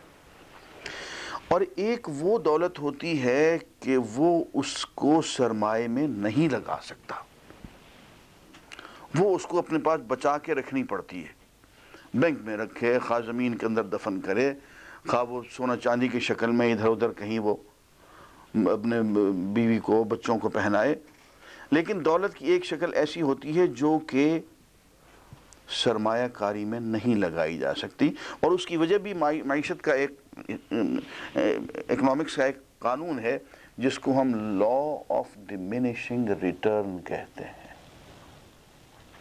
لا آف ڈیمینشنگ ریٹرن یہ ہے کہ آپ سرمایہ کاری کریں گے تو جب سرمایہ کاری کریں گے تو اس میں منافع بڑھتا جائے گا، بڑھتا جائے گا، لیکن سرمایہ کاری کی ایک حد ایسی آئے گی جس میں کہ نفع کم ہونا شروع ہو جائے گا۔ اور ایک حد ایسی آئے گی کہ نفع کم اور نقصان زیادہ شروع ہو جائے گا۔ دیکھیں نا، ایک فرض کیجیے ایک دیہات ہے، اس میں آپ ایک دکان کھول لیتے ہیں، اس دکان میں آپ دس ہزار کا سرمایہ لگا دیتے ہیں، نفع ہوگا۔ پچاس ہزار کا سرمایہ لے، نفع ہوگا۔ لیکن وہاں اگر آپ دس لاکھ کا سرمایہ لگا دیں تو نقصان ہو جائے گا۔ اس لیے کہ لوگوں کی وہ پرچیز پاور نہیں ہے، وہ اتنی خرید نہیں سکتے ہیں، وہاں اتنی بکری نہیں ہوگی، تو وہ سارے کا سارا سرمایہ جو ہے وہاں پہ ٹوٹ جائے گا۔ اس سے فائدہ نہیں۔ اس کو ہم لا آف ڈیمینشنگ ریٹرن کہتے ہیں کہ سرمایہ کاری کی ایک حد ہوتی ہے، اس سے زیادہ وہ ہوتا نہیں۔ تو سرمایہ کار کے پاس، سرمایہ دار کے پاس ایک تو وہ دولت ہے جسے ہم کہتے ہیں جو سرمایہ داری میں، دکان پہ، کارخانے پہ، زراعت میں لگ رہی ہے اور وہ چکر میں آئی ہوئی ہے۔ ایک وہ ہے جو ڈیڈ پراپرٹی ہے، مردہ مال ہے، وہ اپنے پاس رکھنے پہ مجبور ہے۔ اب افسوسناک بات یہ ہے کہ یہ سرمایہ جو کہ بچ رہا، یہ ہر خرابی کا باعث ہوتا ہے۔ اسی سرمایہ سے ہر شخص جرم کرتا ہے۔ رشوت اسی سرمایہ میں سے دے گا جو بچ رہا ہے اس کے پاس۔ کبھی جوا کھیلنا ہوا تو اسی سے کھیلے گا، شراب پینا ہوا تو اسی سے پیے گا۔ کوئی خرابی کرے گا تو یہ یہ جو ڈیڈ پراپرٹی ہے، جو ایکٹیو سرمایہ کاری میں نہیں آئی ہے، یہ ہر خرابی کی جڑ ہوتی ہے۔ اسلام اس سرمایہ کا دشمن ہے۔ اور اسے قل العفو کی زد میں لاتا ہے کہ یہ بچ رہا ہے، اس کو باہر نکالو۔ اس کو زکوٰۃ کی شکل میں، صدقہ کی شکل میں، قرض حسنہ کی شکل میں، اس کو باہر نکالو، لوگوں کو دو۔ یہاں رفاہیت کا سارا جو ہے نظام کھڑا ہوتا ہے۔ اس سے سکول قائم کرو، اس سے مدرسہ قائم کرو، اس سے تم سرائے قائم کرو، لوگوں کے لیے کنویں بناؤ، لوگوں کے لیے مسجدیں بناؤ، مدرسے بناؤ۔ لیکن یہ پیسہ اپنے پاس، یہ سنبھال کے نہیں رکھو گے تم۔ سرمایہ کاری کرو، ٹھیک ہے، کرو۔ جو سرمایہ کاری سے بچ رہا، اس کو تم اپنے پاس نہیں رکھو گے۔ اچھا صاحب، اب ہوتا کیا ہے؟ اگر یہ پیسہ جو بچا ہوا ہے، اس کو میں ڈیڈ پراپرٹی کہا کرتا ہوں۔ اگر یہ ڈیڈ پراپرٹی پڑی ہوئی ہے تو تمام جرائم کی بنیاد یہی ہے۔ لیکن اس ڈیڈ پراپرٹی کو، مردہ مال کو، جو کہ سرمایہ کاری میں استعمال نہیں ہو رہا ہے، اس کو اگر آپ نے نکال کے ایک غریب کے ہاتھ میں دے دیا، تو جو ہی یہ مال غریب کے ہاتھ میں آئے گا، یہ مردہ مال، یہ نجس مال زندہ بھی ہو جائے گا، پاک بھی ہو جائے گا۔ اور یہ اس مال کو لے کے جو آپ نے صدقہ کے طور پہ، قرض حسنہ کے طور پہ، زکوٰۃ کے طور پہ آپ نے اپنے غریب ہمسائے کو، غریب بھائی کو، رشتہ دار کو آپ نے دے دیا۔ آپ کے پاس تو یہ بیکار پڑا ہوا تھا، یہ مردہ مال تھا۔ اب اس کے ہاتھ میں آیا تو وہ اس مال سے سرمایہ کاری کرے گا۔ اس مال سے وہ ایک چھوٹا سا کھوکھا لگا لے گا، پان بیڑی کی دکان کھول لے گا۔ اور نہیں تو اس مال سے وہ اپنی ضرورتیں پوری کرے گا، وہ جوتا اپنے بچوں کا خریدے گا اور جوتا خریدنے کے لیے کہاں جائے گا؟ وہ آپ کی دکان پہ آ جائے گا۔ اسی دکان پہ آئے گا جہاں سے زکوٰۃ دی گئی ہے۔ تو وہ مال جو کہ زکوٰۃ دینے والے نے اپنی ڈیڈ پراپرٹی میں سے دیا، وہ مال لوٹ کے پھر اس کی دکان پہ آیا، لیکن اب زندہ ہو گیا آیا۔ آپ نے دیکھا کہ سرکولیشن آف ویلتھ کو کتنا بوسٹ ملا؟ وہ جو ڈیڈ پراپرٹی تھی جو جو وہ ایک غریب آدمی کے ہاتھ میں آتی ہے، وہ زندہ بھی ہو جاتی ہے۔ اس لیے زکوٰۃ کہتے ہیں مال کو پاک کرنا۔ جب وہ مردہ ہے، پڑا ہوا ہے آپ کے دفینے میں، تو ناپاک ہے۔ اب وہ غریب کے ہاتھ میں آئے گا تو پاک ہو جائے گا۔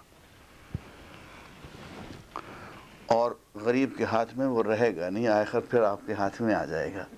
آپ کی دکان پہ آ جائے گا، کپڑا خریدے گا آپ سے، کتابیں خریدے گا آپ سے، جوتے خریدے گا آپ سے، ضرورت کی ساری چیز انہی لوگوں سے خریدے گا جنہوں نے زکوٰۃ اس کو دی ہے۔ لیکن وہی اس کا نتیجہ یہ ہوگا کہ وہ مال جو کہ مال مردہ تھا، مال نجس تھا، زکوٰۃ کے عمل سے، قرض حسنہ کے عمل سے، صدقہ کے عمل سے وہ کم سے کم ہوتا چلا جائے گا۔ اور زیادہ سے زیادہ اس کی سرکولیشن بڑھے گی، زیادہ سے زیادہ وہ زندہ اور پاک ہوتا چلا جائے گا۔ یہ آپ نے سن لیا۔ اب تھوڑی دیر کے لیے سود کے عمل پہ غور کیجیے۔ یہ اس کے بالکل برعکس ہے۔ زکوٰۃ کے عمل میں ہم نے یہ دیکھا کہ جو مال مردہ تھا، اس میں سے زکوٰۃ دی گئی، صدقہ دیا گیا، قرض دیا گیا۔ اور مردہ مال کم سے کم ہوا اور زندہ مال زیادہ سے زیادہ ہوا۔ Circulation of wealth national level پہ، قومی سطح پہ بڑھ گیا۔ دوران خون جو ہے دولت کا بڑھ گیا۔ سود میں کیا ہوتا ہے؟ کہ غریب آدمی جب سود دیتا ہے مہاجن کو تو کہاں سے دیتا ہے؟ اپنی سائیکل بیچ کے۔ اپنے بچوں کی کتابیں بیچ کے۔ وہ جو ایک اس نے کھوکھا لگا رکھا تھا، جو اس نے ریڈی لگا رکھی تھی پھلوں کی، وہ بیچ کے۔ یعنی وہ جو ایکٹیو انویسٹمنٹ جو کہ زندہ سرمایہ کاری کا مال تھا، اس میں سے نکال کے سرمایہ دار کی جیب میں گیا اور کہاں جا پہنچا؟ اس کی ڈیڈ پراپرٹی میں، جو بیکار پڑا ہوا ہے، اس کی نجس پراپرٹی تو جو عمل زکوٰۃ کا تھا، اس کے بالکل برعکس عمل سود کا ہے۔ زکوٰۃ میں مردہ مال کم سے کم کیا جاتا ہے، زندہ زیادہ سے زیادہ کیا جاتا ہے اور سرکولیشن آف ویلتھ بڑھتی چلی جاتی ہے۔ سود کے اندر وہ جو زندہ مال ہے، اس میں کٹوتی ہوتی ہے اور مردہ مال میں اضافہ ہوتا ہے اور سرکولیشن آف ویلتھ جو ہے، وہ منیمائز ہوتا چلا جاتا ہے۔ اس لیے اللہ تعالیٰ نے فرمایا کہ اللہ تعالیٰ سود ان اللہ اللہ تعالیٰ یورب صدقات، اللہ تعالیٰ صدقات کو پالتا ہے۔ تم صدقہ کرو، نیکی کرو۔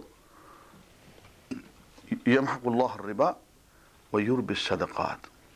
اللہ تعالیٰ سود کا خانہ خراب کرتا ہے، برباد کرتا ہے اس کو، ذلیل کرتا ہے۔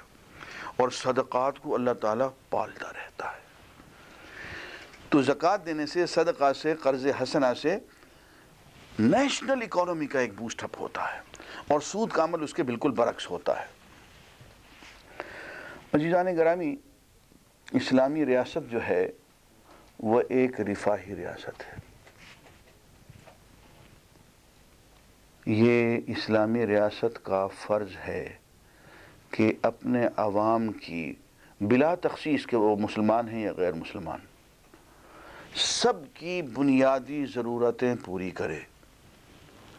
ان کو جابز فراہم کرنا، کام پہ لگانا، کام پہ نہ لگا سکے تو ان کو وظائف مہیا کرنا۔ وہ جو سوشل سیکیورٹی آپ کو یورپ اور امریکہ میں نظر آتی ہے، وہ یہیں سے گئی ہوئی ہے۔ اڑا لی توتیوں نے، کمریوں نے، اندلیبوں نے، چمن والوں نے مل کر لوٹ لی طرز فغا میری۔ وہ سب یہاں سے لے کے چلے گئے۔ وہ سوشل سیکورٹی کا جو سسٹم آپ کو وہاں نظر آتا ہے، وہ خلفۂ راشدین کا نظام ہے۔ حضرت عمر فاروق رضی اللہ تعالیٰ عنہ سے صحابہ نے کہا کہ، امیر المومنین، یہ عراق کی زمین ہے، یہ شام کی زمین ہے، یہ بہت زرخیز ہیں، آپ یہ ہمیں الاٹ کر دیں۔ آپ نے میرے نبی کے صحابہ، تم جس کام میں لگے ہوئے ہو، لگے رہو۔ تم دعوت میں، تبلیغ میں، جہاد میں لگے ہوئے ہو اسی کام میں لگے رہو۔ رہ گئی تمہاری ضرورتیں۔ تو ان زمینوں کا لگام میں تمہاری کنڈی کھٹکھٹا کے تمہارے دروازے پہ پہنچا جایا کروں گا۔ تمہاری کسی ضرورت میں فرق نہیں آئے گا۔ ہر شخص کی ضرورت کو پورا کرنا، بنیادی ضرورت کو، وہ اسلامی حکومت کا فرض ہے۔ اور بنیادی ضرورتوں میں روٹی، کپڑا اور مکان ہی نہیں ہے، تعلیم بھی ہے صحت بھی ہے اور تربیت بھی ہے، کردار سازی بھی ہے۔ اور اس سے بڑا کوئی کیا جملہ ہو سکے گا کہ سیدنا عمر فاروق رضی اللہ تعالیٰ فرماتے ہیں کہ اگر دریائے فات کے کنارے کوئی کتا اگر بھوک سے مر گیا تو اس کا ذمہ دار عمر خطاب قرار دیا جائے گا۔ یہ اسلامی ریاست ہے، انسان نہیں، جانوروں کے لیے بھی۔ وہ ایک رفاہ کا اور فلاح کا ایک پورا نظام ہے، ان کی پیش بندی کرتا ہے۔ ایک مسلمان غیر مسلم ذمی بیچارہ بوڑھا گداگری کر رہا تھا۔ دیکھیے، گداگری اسلام میں جائز نہیں ہے۔ بھیک مانگنا، حضور نے فرمایا کہ دیکھو، بھیک وہ شخص مانگ سکتا ہے جو یا تو مقروض ہو یا جس کے گھر میں فاقہ ہو۔ اس کے گھر میں کھانے کو کچھ نہ ہو۔ ورنہ گداگری کی کوئی اجازت نہیں ہے۔ سین عمر فاروق رضی اللہ تعالیٰ عنہ کے آپ سے گداگر آیا آپ نے اور اس کے پاس بالٹی تھی، اس میں دانے تھے۔ جو بھیک مانگ رہا تھا۔ آپ نے اسے بالٹی لی، اس کے جو دانے تھے وہ اٹھا کے اونٹ کو پھر جو سامنے ڈال دیے۔ بالٹی خالی کر کے اس کے ہاتھ میں دے دی اور فرمایا، اب مانگو۔ اب تمہیں مانگنے کا حق ہے۔ بالٹی دانوں کی بھری ہوئی لیے پھرتے ہو اور مانگتے پھرتے ہو، کوئی حق نہیں پہنچتا۔ تو میں کر رہا تھا کہ ایک غیر مسلم بیچارہ وہ گداگری کر رہا تھا۔ تو سید عمر فاروق رضی اللہ تعالیٰ عنہ نے بیت اللہ کا بیت, بیت المال سے اس کا وظیفہ مقرر کر دیا۔ فرمایا کہ اتنا عرصہ تک تم بیت المال میں دیتے رہے ہو جزیہ دیتے رہے ہو اب ہماری باری آئی ہے تمہاری خدمت کرنے کی۔ اب تک مسلمان یا زکوٰۃ دیتا ہے غیر مسلم جزیہ دیتا ہے۔ تو فرمایا تم اب تک جزیہ دیتے رہے ہو اب ہماری باری ہے۔ کہ ہم تمہاری خدمت کریں۔ تو اس غیر مسلم کا آپ نے بیت اللہ، بیت المال سے وظیفہ مقرر کر دیا کہ ماہ بماہ اس کا نان نفقہ بیت المال سے جائے گا۔ تو یہاں سے یہ بھی معلوم ہوا کہ یہ زکوٰۃ، یہ بیت المال کا، یہ اس میں غیر مسلم بھی شریک ہوتے ہیں۔ یہ صرف مسلمانوں کے لیے نہیں ہے۔ مسلمان صرف اسلام، اسلامی حکومت ضرورت مند کو دیکھتی ہے۔ خواہ وہ مسلم ہو، خواہ وہ غیر مسلم ہو۔ وآخر دعوانا الحمدللہ رب العالمین۔ آپ سوالات کر سکتے ہیں۔ ڈاکٹر صاحب سب سے پہلے شروع میں آپ نے فرمایا ربنا دعا ہے ربنا آتینا فی الدنیا حسنتم و فی الآخرت حسنت اس کے آگے کچھ لوگ اضافہ کرتے ہیں۔ آ، وقنا عذاب القبر وقنا عذاب الخش۔ نہیں جو قرآن مجید کی اور جو حدیث میں جو دعا ہے وہ اتنی ہی ہے اور اتنی تک ہی رکھنی چاہیے۔ آ، اس میں اپنی طرف سے ہوشیاری دکھانے کی ضرورت نہیں ہوتی۔ اس لیے کہ اللہ تعالیٰ نے جو ڈرافٹنگ کر دی ہے، اس کو ہم امپروو نہیں کر سکتے۔ دیکھیں نا حسنتاً فی دنیا و حسن فی الآخرہ میں کون سی چیز باقی رہ گئی؟ اب باقی اس میں آپ کہتے چلیے کہ حشر بھی کر رہی ہو، قبر بھی کہی ہو، جو بھی۔ آخرت میں تو سب کچھ آ گیا۔ اس لیے وہ جو الفاظ اللہ تعالیٰ کے ہیں نا، وہیں پہ بھروسہ کرنا چاہیے کہ اس سے جب بہتر ڈرافٹنگ نہیں کی جا سکتی۔ میں اس معاملے میں سچی بات یہ ہے کہ دوستوں سے کہا کرتا ہوں کہ دعا کے الفاظ صرف وہی ہونے چاہیے جو ہمیں یا تو قرآن مجید میں ملیں یا حضور اکرم صلی اللہ علیہ وسلم نے ہمیں سکھائے ہیں۔ ادھر ادھر دعا کریں گے تو پھنس جائیں گے اور اس میں بعض دفعے بہت پریشانی ہو جاتی ہے۔ ہمارے ایک بزرگ تھے مولانا عبد المعبود صاحب۔ میری ان سے جب ملاقات ہوئی تو ان کی ایک سو پینسٹھ سال عمر تھی۔ وہ کہتے ہیں کہ میں نے للت القدر مل گئی اور میں نے دعا کر لیا، اللہ مجھے لمبی عمر عطا کر دے۔ کہتے ہیں ایسی لمبی عمر کہ اب جینا میرے لیے عذاب ہو گیا لیکن موت نہیں آتی۔ اب حضور سے دعا سیکھتے ہیں کہ اے اللہ مجھے اس وقت تک زندگی عطا فرما جب تک کہ جینا میرے لیے خیر ہو اور اس وقت مجھے موت عطا فرما جب موت میرے لیے خیر ہو۔ تو بات بنتی ہے نا۔ وہ قبولیت کی گھڑی تھی۔ تو پھنس گئے وہ لمبی عمر مانگ کے پھنس گئے۔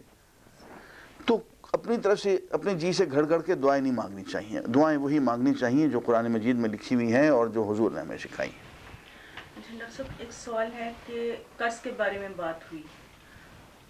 قرض ایک شخص لیتا ہے اور اس کے بعد وہ ادا نہیں کر سکتا۔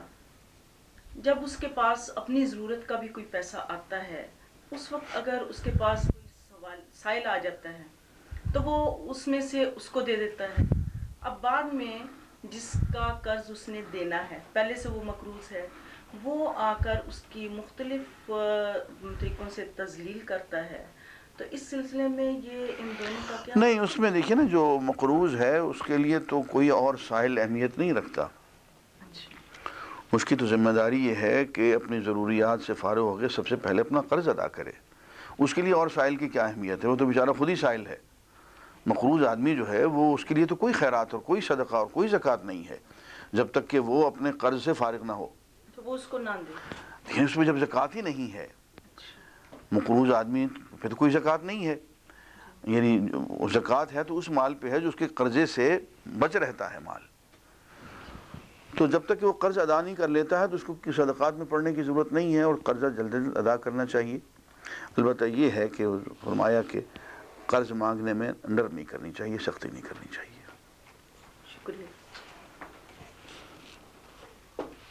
ڈاکٹر صاحب، آپ سے ایک سوال میں کروں گی کہ یہ قومی بچت کی اسکیمیں یا اس طرح کی منافع بخش کی اسکیمیں جو ہیں، ان کے منافع کے لیے اکثر لوگ کہتے ہیں کہ یہ سود ہے۔ اس کے بارے میں آپ کیا میں اصل میں اس کے پورے نظام سے واقف نہیں ہوں، لیکن میں تعریف کر دیتا ہوں کہ سود کیا ہے۔ ہر وہ کاروبار جس میں کہ انسان نفع میں نقصان میں دونوں میں شریک ہو۔ وہ کاروبار ہے تجارت ہے اسے جو کچھ ملے گا وہ نفع ہوگا حلال ہوگا۔ ہر وہ کاروبار جس میں آپ صرف نفع میں تو شریک ہوں نقصان میں شریک نہ ہوں وہ سود ہو جائے گا ناجائز ہو جائے گا۔ اس کا مطلب یہ کہ وہ سود ہے۔ اب یہ آپ جانیں کیونکہ میں اس کی تفصیل سے واقف اچھا ہوں دوسرا اصول میں نے بتا دیا۔ جی۔ دوسرا سوال یہ کہ لوگ کہتے ہیں کہ جو زکوٰۃ دے سکتے ہیں ان پر واجب ہو جاتی ہے قربانی۔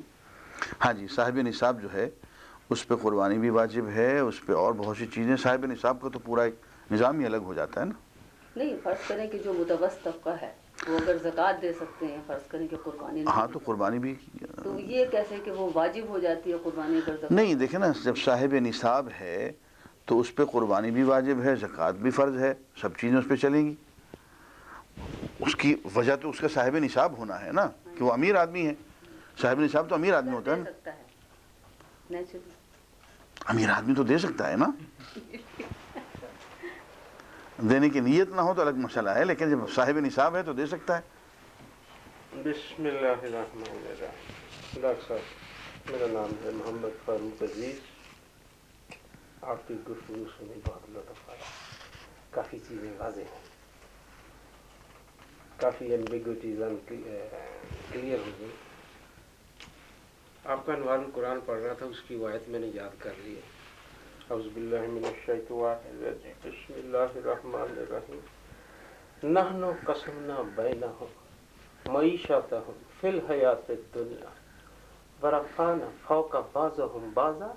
درجات لیتخذ بعضهم بعضا سخریا سخریا. ورحمت ربک خیر مما یجمعون۔ اللہ پاک فرما رہے ہیں اے میرے بندوں میں نے دنیا کا رزق تم میں بانٹ دیا۔ جی۔ درجے بنا دیے بعض کو بعض پہ فوقیت دے دی یہ اللہ پاک رزق طیب کی بات کر رہے ہیں۔ قرآن صاف صاف کہہ رہے ہیں۔ رزق حرام کا یہاں کوئی تعلق نہیں۔ کچھ لوگ ہیں جو رزق حرام کماتے ہیں رشوتیں لیتے ہیں دو نمبر کام کرتے ہیں۔ انڈر ہینڈ مینس کے ذریعے کروڑوں کماتے ہیں اور کہتے ہیں ماشاء اللہ جی اللہ نے بہت رزق دیا۔ وہ ایک وہم میں بیٹھے ہیں ایک زوم میں بیٹھے ہیں۔ جی جی۔ جب اللہ نے یہ رزق بانٹ دیا ہے تو واللہ خیر الرازقین رازق ہے۔